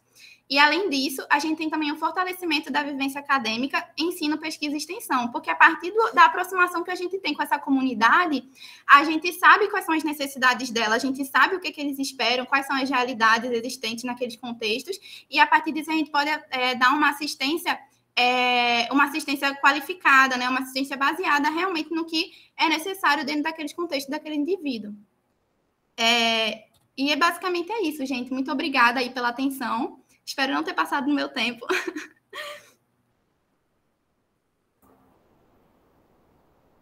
Nossa, Ruth, não, definitivamente não passou do seu tempo. que bom. Foi, foi bem. Mas bem é um modo de falar, é, Peter. Eu também falo rápido. É, eu falo um pouco rápido. Ó, oh, Celso, é, bem, parabéns, Ruth, foi um ótimo trabalho. Eu tentei até enviar uma mensagem aqui no chat dizendo que você tinha tempo para você diminuir um pouco a velocidade, mas... Eu não estava vendo o chat. É, foi, eu imagino que não. Eu imaginei que não. Uau! Ah, bem, excelente trabalho, parabéns para você, para sua coordenadora. É, bem, muito bem.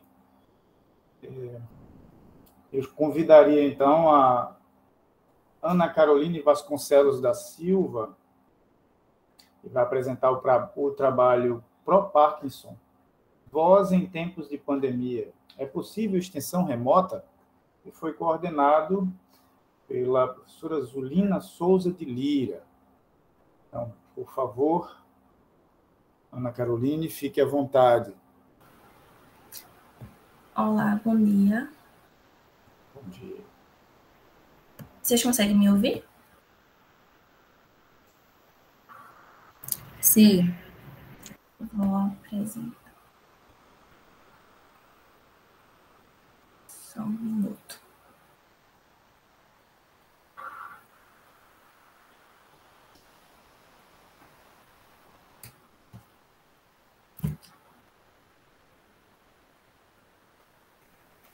Ops.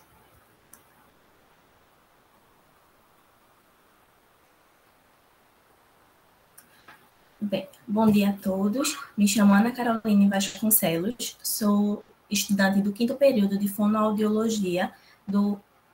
Eita, eu vou desligar a câmera porque o computador está ficando um pouco lento. Perdão.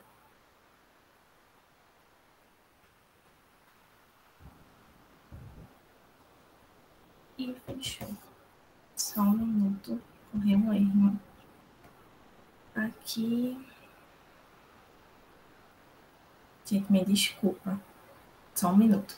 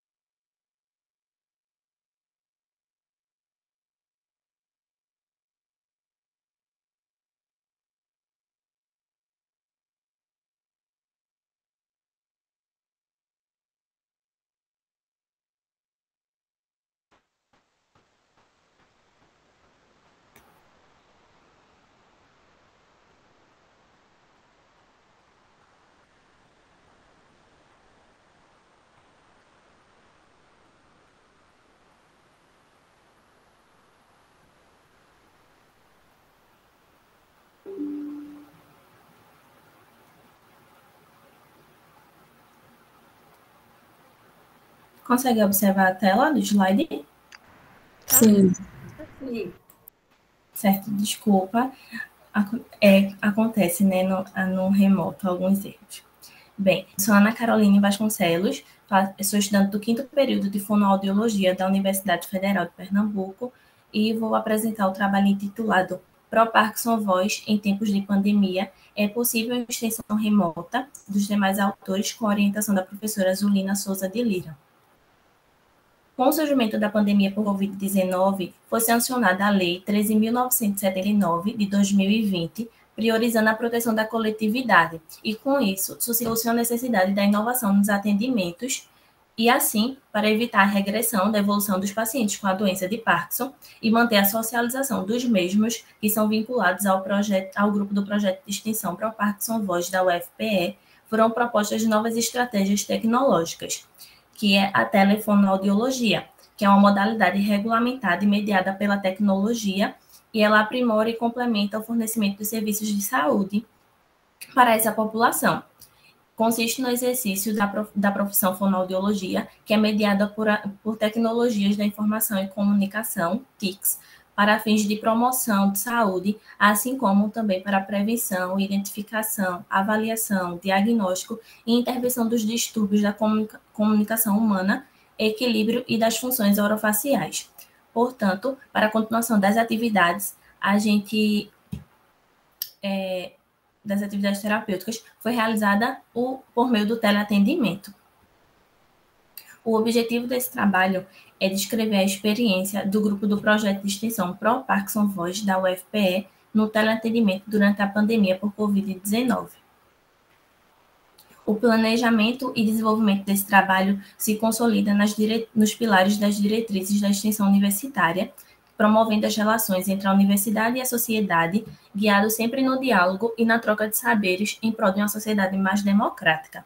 Também é, é construída a partir dos saberes e da complexidade que envolve a doença de Parkinson. As ações são desenvolvidas por meio da interdisciplinariedade e a interprofissionalidade, que vão ratificar a indissociabilidade entre o ensino, a pesquisa e a extensão, o que é essencial para a formação desses estudantes e futuros profissionais de saúde, sendo esses que são protagonistas no envolvimento das, das questões contemporâneas, com foco em uma atuação transformadora voltada nos interesses e, a, e as necessidades da população, bem como na promoção da qualidade de vida das pessoas com a doença de Parkinson. Trata-se de um estudo experimental e descritivo, em que foram realizadas sessões virtuais por meio da plataforma de vídeos chamadas Google Meet, com duração de uma hora em encontros semanais. Utilizou-se do site WordWall para a construção das atividades.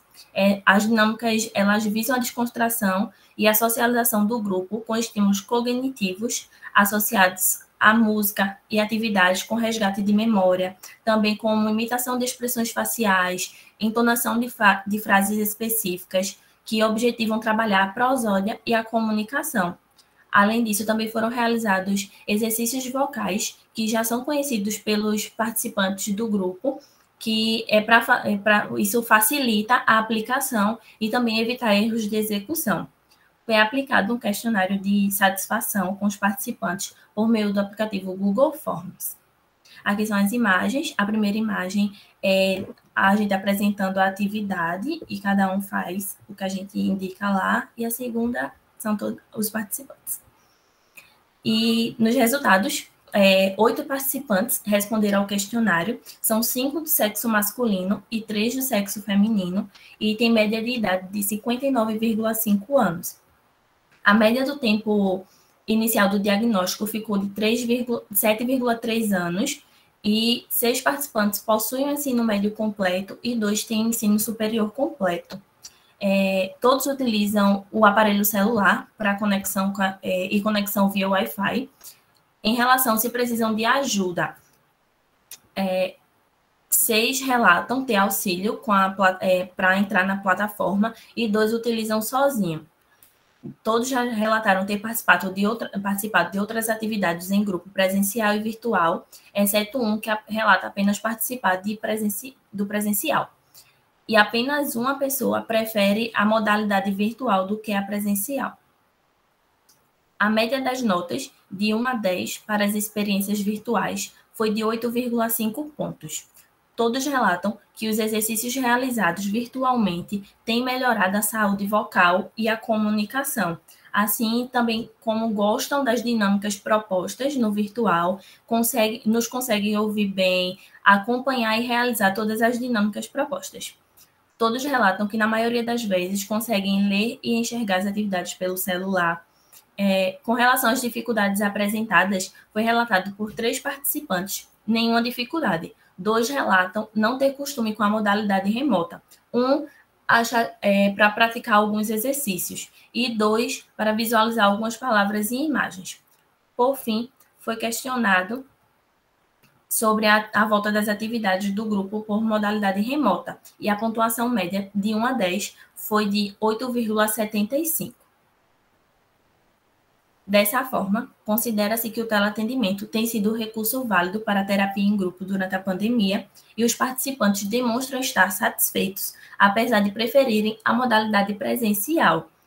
Percebe-se ainda que a intervenção terapêutica remota tem muitos aspectos positivos, como a facilidade do acompanhamento e orientação aos cuidadores e familiares, a redução de custos também, entre, e entre outros fatores é, também a necessidade de um maior investimento em políticas públicas no sentido de ofertar recursos tecnológicos e acesso a essas tecnologias para aumentar a inclusão e qualidade de vida dessas pessoas. aqui são algumas referências e eu agradeço a todos que estão aqui na sala presente e também as meninas que participam do projeto de extensão junto comigo, Tayane, Juliane, Débora e a professora Zuline e a professora Ana Cláudia, que também estão presentes aqui na sala de aula.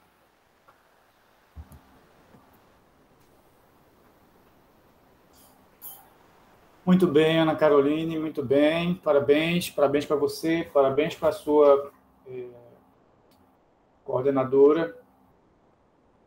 Realmente um projeto bastante interessante, com todos que estão sendo apresentados aqui. Mostra a pujança da nossa universidade, né? Nossa, nossa comunidade acadêmica, assim, tá certo? Muito bem. Então, dito isso, eu gostaria de convidar agora a senhorita Bruna Beatriz Alves do Nascimento, para apresentar o trabalho Rede Social como ferramenta para trabalhar a extensão e microbiologia. Alternativa em tempos de distanciamento social. O trabalho que foi orientado pela professora Simone do Nascimento Fraga. Por favor, Bruna, fique à vontade para usar o seu tempo. Oi, bom dia, gente. Eu vou começar a apresentar e vocês avisam se está funcionando.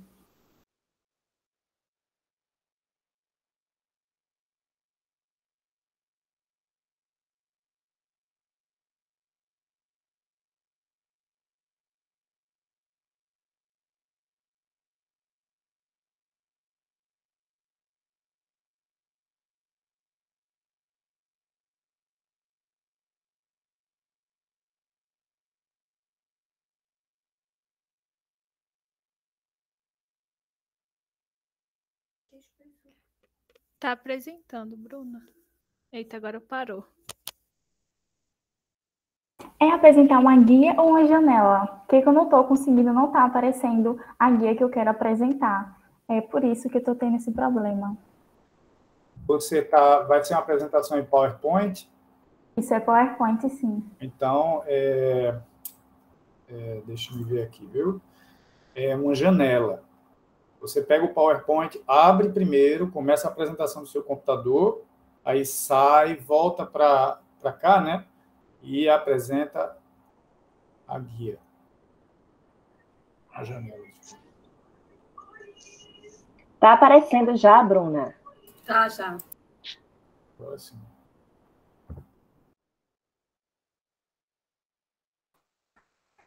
Que ótimo, gente. Muito obrigada. Bom, muito bom dia a todos mais uma vez. Eu me chamo Bruna e, e sob a coordenação da professora Simone Fraga, nós produzimos esse trabalho que tem por título Rede Social como ferramenta para trabalhar a extensão em microbiologia, alternativa em tempos de distanciamento social. Bom, é, em meados de fevereiro e março do ano de 2019, surgiu aí o vírus causador da Covid-19. É, a partir de então, as autoridades sanitárias é, do mundo né, é, estabeleceram a pandemia. Aqui no Brasil, foi implementada uma medida de distanciamento social como forma de evitar a propagação e a contaminação é, das pessoas né, por, por esse vírus. E, lógico, toda, todos os setores, tanto econômico, assim como o setor educacional, ele sofreu bastante com essas medidas né, de isolamento e distanciamento social. Com isso, né, a UFPE, tendo a partir do seu tripé educacional, ensino, a pesquisa e a extensão, como a extensão, como é o nosso caso, ela também sofreu, que, porque a base da extensão é a comunicação presencial a partir da promoção da educação e do conhecimento do aluno com a comunidade em si. A partir disso, né, a partir da UFPE, ela começou a implementação das chamadas atividades remotas para dar continuidade com os projetos de, eh, de extensão. Com isso, o projeto de extensão do qual faço parte, que se chama Universo Microbiológico e a Vida das Pessoas, ele passou, né, teve que se readaptar com essas novas condições que estamos ainda é, vivendo.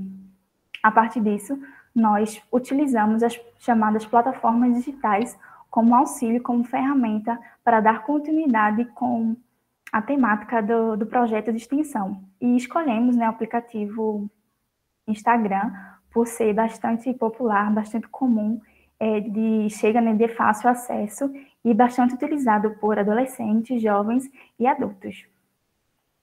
Bom, como eu já falei, é, nós do, proje do projeto tivemos que nos readaptar. E essa adaptação, ela começou com as nossas reuniões, que anteriormente eram realizadas presencialmente, passaram a ser realizadas de meio virtual, a partir do aplicativo Google Meet. Além disso, né, que, que anteriormente é, a propagação do conteúdo se dava presenci, presencialmente na UBS é, da Bela Vista, que é vinculada ao nosso projeto, ela passou a ser propagado esse conteúdo a partir do Instagram, né? Que é bastante utilizado por todos. Bom, e o objetivo do nosso projeto é, é relatar a, experiência vivenciada por nós, alunos, no nosso projeto de extensão, que tem por título O Universo Microbiológico e a Vida das Pessoas nos seus anos terceiro e quarto, através das redes sociais, no decorrer né, desses dois anos que a Covid-19 nos estabeleceu a partir do distanciamento social.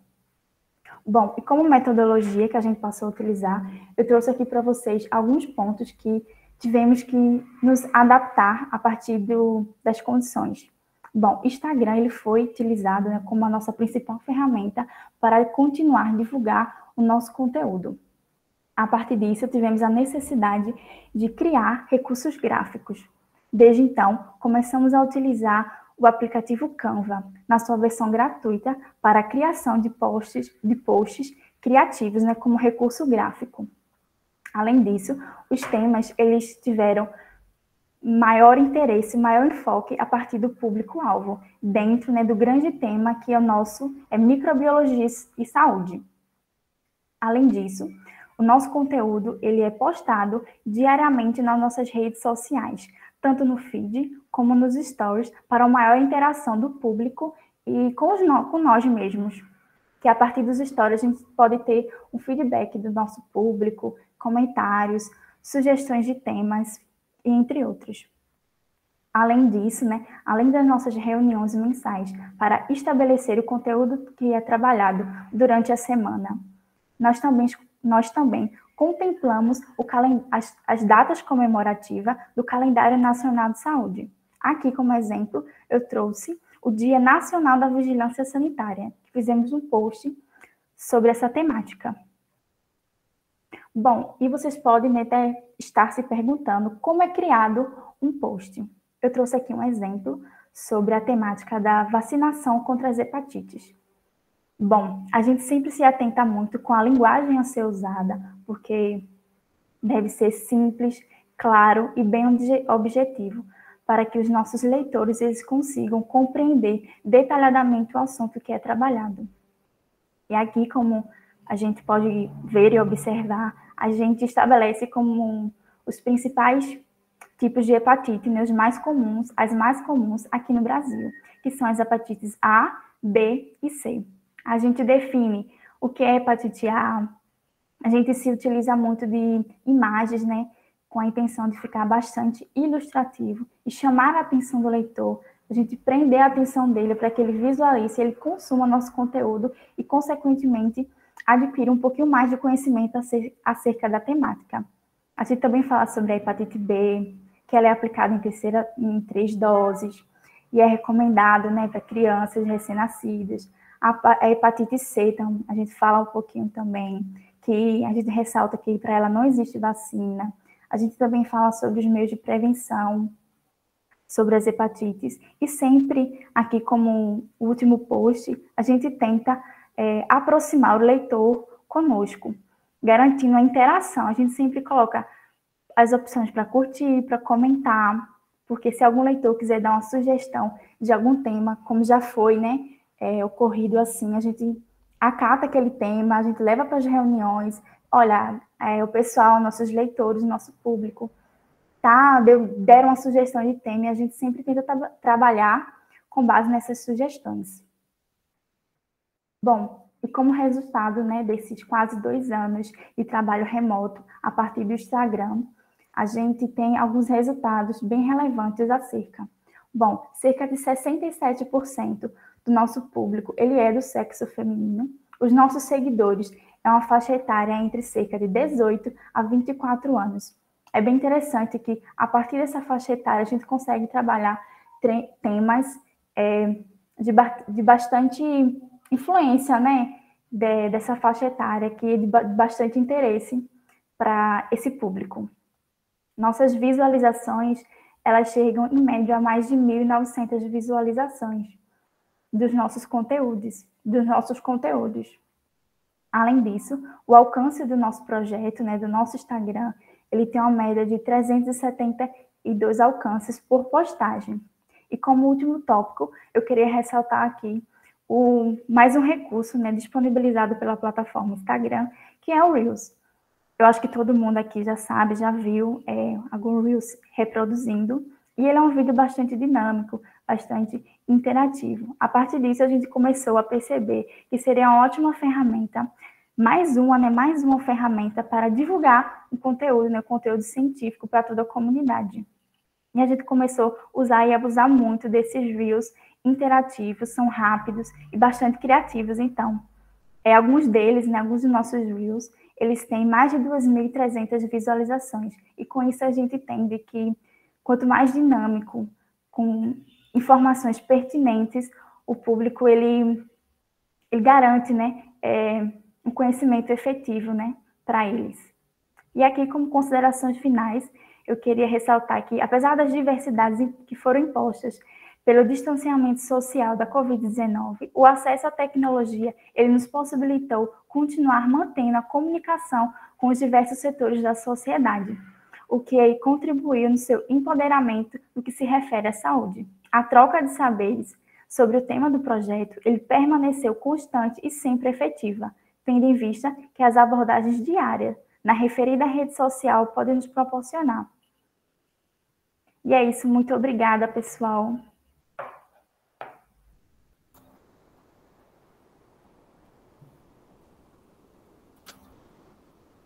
Muito bem, Bruna Beatriz. Excelente apresentação, ótimo trabalho, realmente muito criativo e pertinente nesse, nesse período que nós estamos vivendo. Eu agradeço a sua apresentação e gostaria de convidar a senhorita Bruna Gabriele Coutinho dos Santos. Ela vai apresentar o trabalho intitulado Redes Sociais e Comunicação Popular em Saúde em Tempos de Covid-19. E foi coordenado o trabalho pela professora Márcia Maria Dantas Cabral de Melo, por favor, Bruna, fique à vontade para usar o seu tempo. Olá, vou apresentar aqui, um minuto.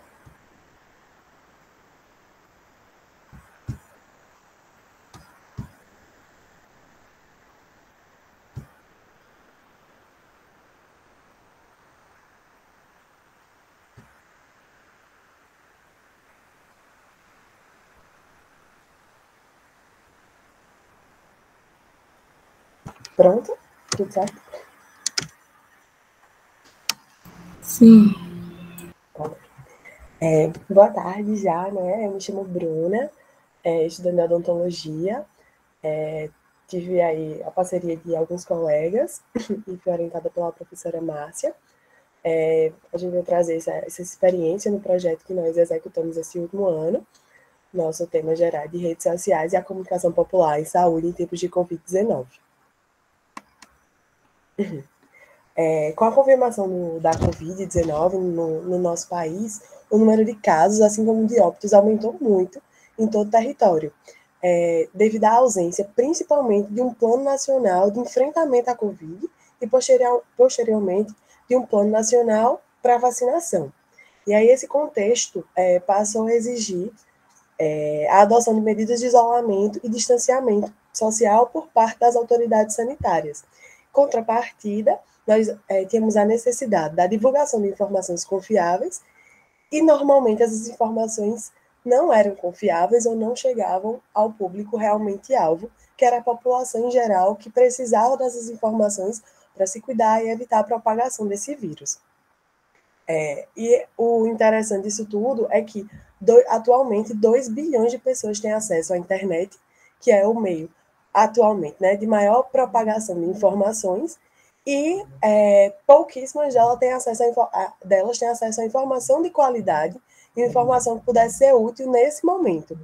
E aí nós, do projeto, entendemos essa, essa, esse aliado como a oportunidade de propagar esse conhecimento, um conhecimento de fontes seguras e ajudar a sociedade como um todo a combater, estar à frente é, na, nesse combate realmente da propagação do vírus.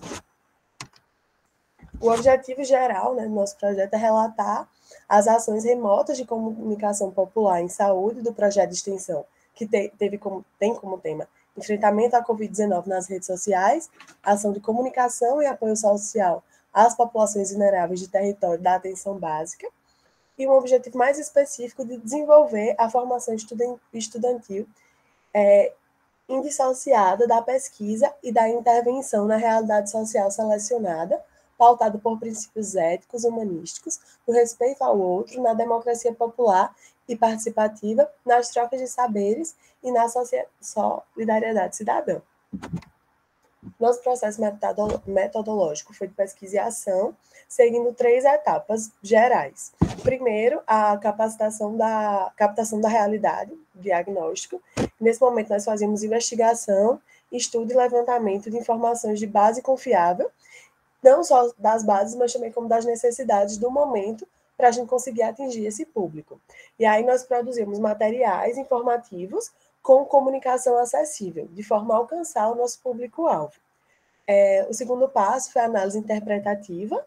É, nós fazíamos reflexão e diálogo acerca dos temas que nós queríamos abordar, baseado no que foi pesquisado. E aí é, tivemos momentos de troca teórica, onde esses temas eram selecionados, materiais, e nós fa fazíamos um plano de abordagem para conseguir chegar nesse público. E o terceiro, que era a intervenção, é, a intervenção na realidade, que aí nós é, começamos a lidar com as ações. É, e essas ações eram todas pautadas nesse planejamento para alcançar o nosso contexto, o nosso público-alvo.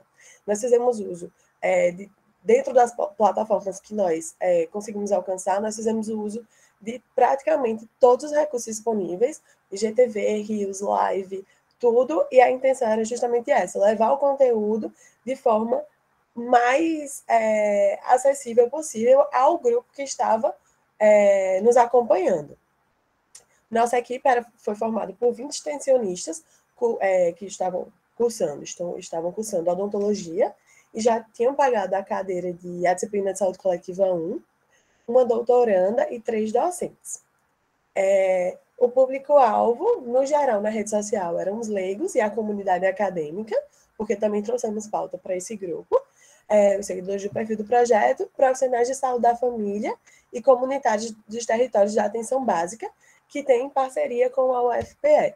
Então, nós conseguimos divulgar esse, esse material produzido na, na, nas é, unidades de atenção básica, é, nós conseguimos chegar a um público realmente da, dos usuários da assistência básica. Aqui está nosso produto, né?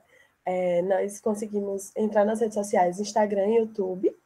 É, nossa, nossa logo, a logo de representação do projeto, tem tudo a ver com o nosso plano, assim, o que nós queremos passar, que era um apoio social, um apoio conjunto e uma comunicação em saúde, a fim de levar para o coletivo essas informações que até certo momento eram tão restritas ou mal passadas. E aí nós desenvolvemos várias ações, é, a maior parte delas voltadas à produção mesmo de conteúdo, é, conteúdos que nós pesquisávamos, desenvolvíamos, debatíamos e levamos assim de forma mais lúdica, de forma mais é, didática mesmo. E aí eram, foram informações que eram desde de instruções, como como usar máscara, é, como fazer o descarte dessa máscara, até reflexões acerca do momento em que nós estávamos vivendo, pensando na população no geral. Como pensar é, na realidade é, do, do público do público carcerário, do, da população carcerária nesse momento. Como aconteceu essa transição de, de, de quem estava realmente já lá e o que é que aconteceu. E aí a gente trouxe essa reflexão, é, uma reflexão que começa internamente assim, no projeto. Todas as nossas trocas teóricas baseavam-se nesse debate, nessa discussão, e começar a enxergar na nossa realidade o que nós estávamos vivendo e abordar isso no projeto. É, trouxemos temas como violência contra a mulher, é, várias pautas a respeito do SUS, a fim de levar não só esse conhecimento, mas assim conscientização mesmo da importância do SUS, não nesse, só nesse momento, mas na vida geral. Aqui eu trouxe um exemplo só de métrica, que são os dados que o Instagram nos dá do nosso alcance, de onde conseguimos chegar com nossas publicações. Essa é uma das nossas primeiras publicações a respeito da máscara de tecido. Foi bem no começo, quando ainda era uma questão assim bem que as pessoas não sabiam muito se podia, se não podia, como descartar, como lavar, enfim. E aí, é, mais de 100 curtidas, comentários, e esse último, que tem 24, quer dizer que as pessoas salvaram, 24 pessoas salvaram. Essa métrica para o Instagram é muito importante, porque o Instagram entende que é uma publicação, quando a pessoa salva para consumir esse, esse, esse conteúdo em outro momento, o Instagram entende que a publicação é muito relevante, muito importante. Então, assim, é, com temas bem objetivos, a gente conseguiu alcançar várias pessoas e tornar algumas publicações com esse alcance importante de acordo com o Instagram. É, realizamos também live e webinar. A live foi pelo Instagram mesmo, e a, a gente conseguiu alcançar um público bem considerável, enquanto o webinar nós conseguimos é, divulgar ele para pro, as equipes da assistência básica, que nós temos essa parceria, e aí a gente teve muita gente, muito, muitos profissionais da assistência, da assistência básica é, presentes, e muito mais do que passar alguma coisa para eles, a gente conseguiu essa troca, essa troca de como estava sendo a experiência, enfim, foi um momento muito, muito, muito legal. De forma geral, as nossas ações realizadas, nós tivemos seis seminários de trocas teóricas e momentos avaliativos, é, 47 produtos finais que foram realmente espalhados pela rede, é, debates online, a live webinar, é, a live com teve 58 participantes simultaneamente, o webinar 82, é, e a divulgação de projetos sociais, porque um dos nossos braços dentro desse projeto era essa parte mais voltada para o social, então a gente conseguiu divulgar 11 projetos. E como isso acontecia? A gente é, conhecia esses projetos à parte e via a intenção do projeto que eles estavam precisando e divulgava nas nossas redes a fim de conseguir apoio do nosso público pra, para esses projetos. E aí, como conclusão, esse trabalho apresentou-se como uma contribuição ao enfrentamento da Covid, apoiando também remotamente ações de educação e saúde em territórios de integração, ensino, serviço comunidade da UFPE, e trazendo alguns pontos importantes, assim, principalmente da vivência. É, eu gostaria de destacar o protagonismo estudantil, porque o projeto começou do nosso inconformismo de estar em casa, é, com tantas informações, enquanto pessoas próximas pessoas até bem instruídas em alguns aspectos, é, não possuíam essas informações com tanta clareza, pessoas com acesso à informação, outros tipos de informação que diziam nunca ter usado o SUS ou não precisar do SUS, enquanto o SUS permeia toda a nossa vida enquanto cidadão. É, então a gente se sentiu nesse dever de retribuir à sociedade com conhecimento, levando essa informação que para a gente é mais acessível, de maior entendimento, então a gente quis fazer algo diferente é, nesse momento que estava todo mundo em casa. Então a gente quis realmente mudar isso. Nós fomos apoiados pelas nossas professoras e deu certo. Através da internet, que é o nosso meio de comunicação do momento, principalmente da, do, da minha geração, né, da nossa geração, enquanto é, estudante do projeto.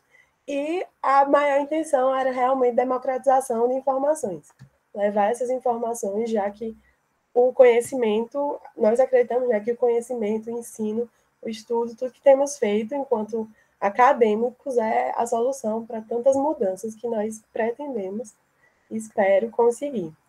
E uma imagem geral de todos participaram, uma oportunidade incrível, o projeto continua, o projeto agora tem muitos outros braços e vem só crescendo.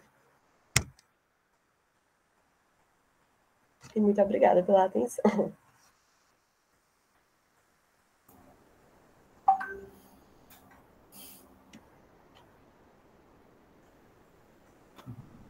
Muito bem, muito bem. Parabéns, Bruna. Muito boa apresentação. Parabéns à sua, à sua coordenadora. Fico feliz que vocês tenham conseguido êxito. Eu queria só ao final desse, dos nossos trabalhos, essa foi a nossa última apresentação, salvo me engano, eu queria parabenizar todas as pessoas, todos que estiveram envolvidos e fazer só um comentáriozinho rápido. Né?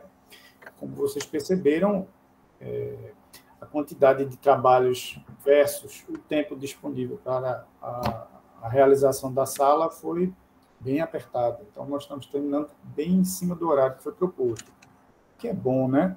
Significa que nós tivemos conteúdo para apreciar dentro do tempo. Então, imagino que foi um desafio, inclusive, para os, os estudantes que apresentaram os trabalhos, porque tinham, tinha um trabalho, nós vimos aqui, que tinham, na, todos os trabalhos, de fato, né? tinham muito conteúdo a ser apresentado em um curto espaço de tempo mas isso não é motivo para vergonha, é motivo para felicidade, né?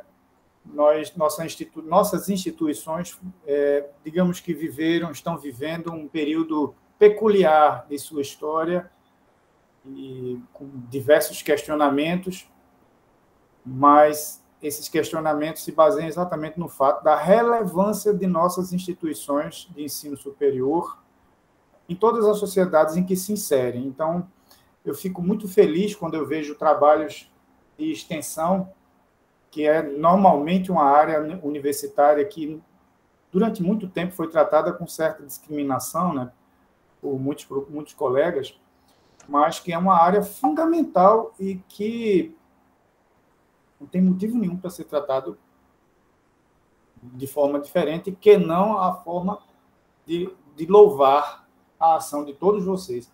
Então, nós vimos hoje trabalhos que vão de todas as matizes, né?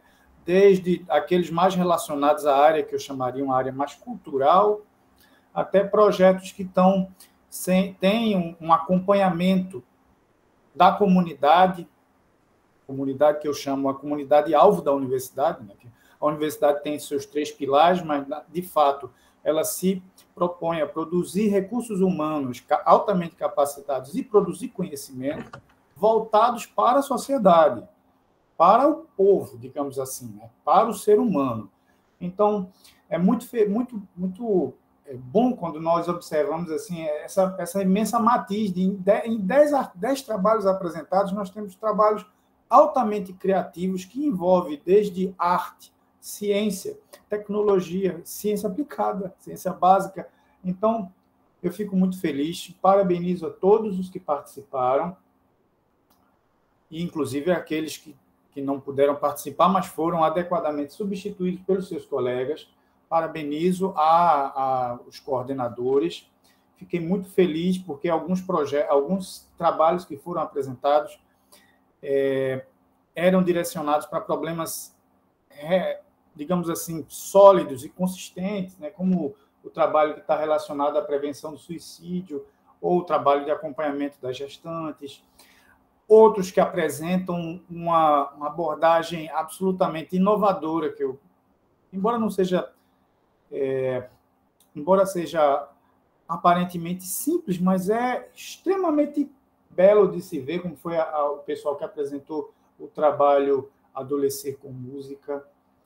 Então, eu agradeço muito e gostaria de passar a palavra às minhas colegas, iniciando pela professora Érica, aparentemente tem um compromisso com seu filhinho daqui a pouco. Eu também, a minha está me chamando aqui. Passaria a palavra para a professora Érica para tecer seus comentários e depois a professora Mara. É, eu preciso pegar meu filho na escola, então boa tarde, minha gente, é, a todos. Foi um prazer imenso, né, ter tanto trabalho assim brilhante, é, como o professor Peter já falou, né, muito bem. Enquanto a gente aprende, né, com com todas essas experiências.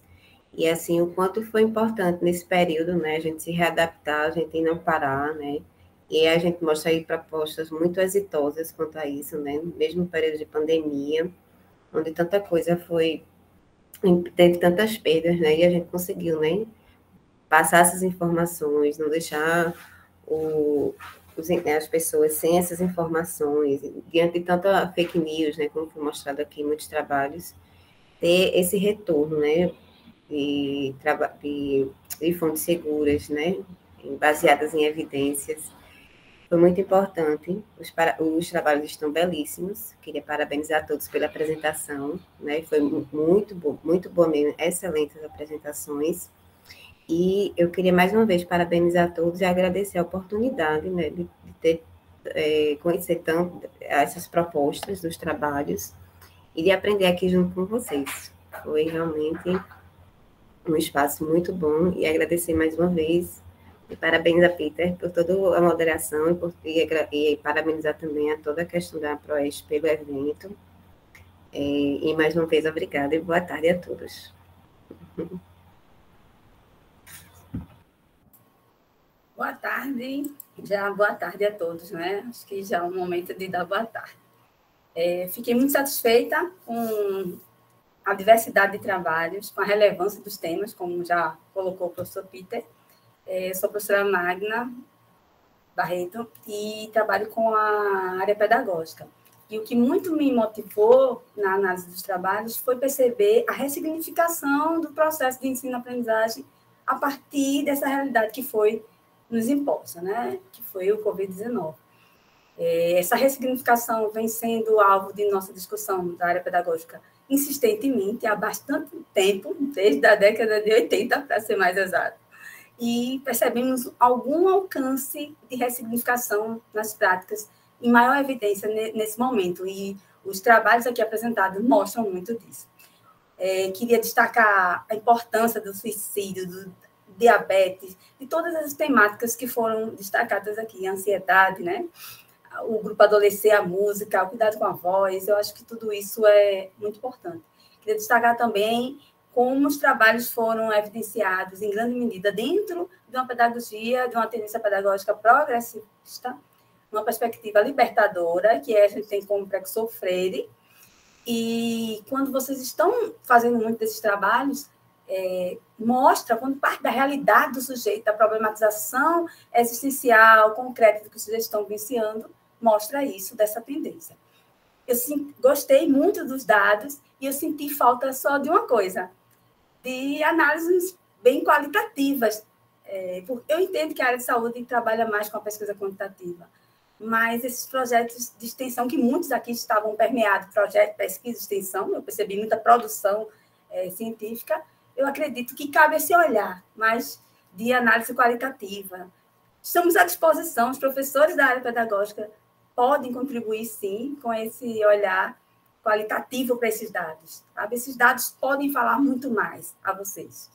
Tá? Eu agradeço a participação, fico imensamente feliz de ser essa minha primeira participação como avaliadora no Enex, com a presença do professor Peter e da professora Érica. Então, eu agradeço e muito obrigada. Minha gente, então parece que estamos chegando no horário de nos despedir, né? Eu, mais uma vez, agradeço a participação de todos vocês, parabenizo aos estudantes e aos professores, é, e espero que esse momento tenha contribuído para vocês poderem observar e, e visualizar um pouco melhor o tamanho da nossa universidade e como ela, a cada dia, tenta. Ela somos nós, né? De fato. Então, é só uma construção. A universidade é uma construção coletiva. E um sonho coletivo também, né? De uma sociedade, um, uma sociedade mais humana, mais humanista e mais voltada para, apesar de olhar eventualmente para o passado, sem tirar os pés do presente e sonhando com um futuro melhor. Então, eu, eu parabenizo a todos vocês, agradeço a todos vocês pela oportunidade e me despeço de vocês. Espero encontrar vocês nos próximos meses pelos corredores da universidade. Um forte abraço. Outro.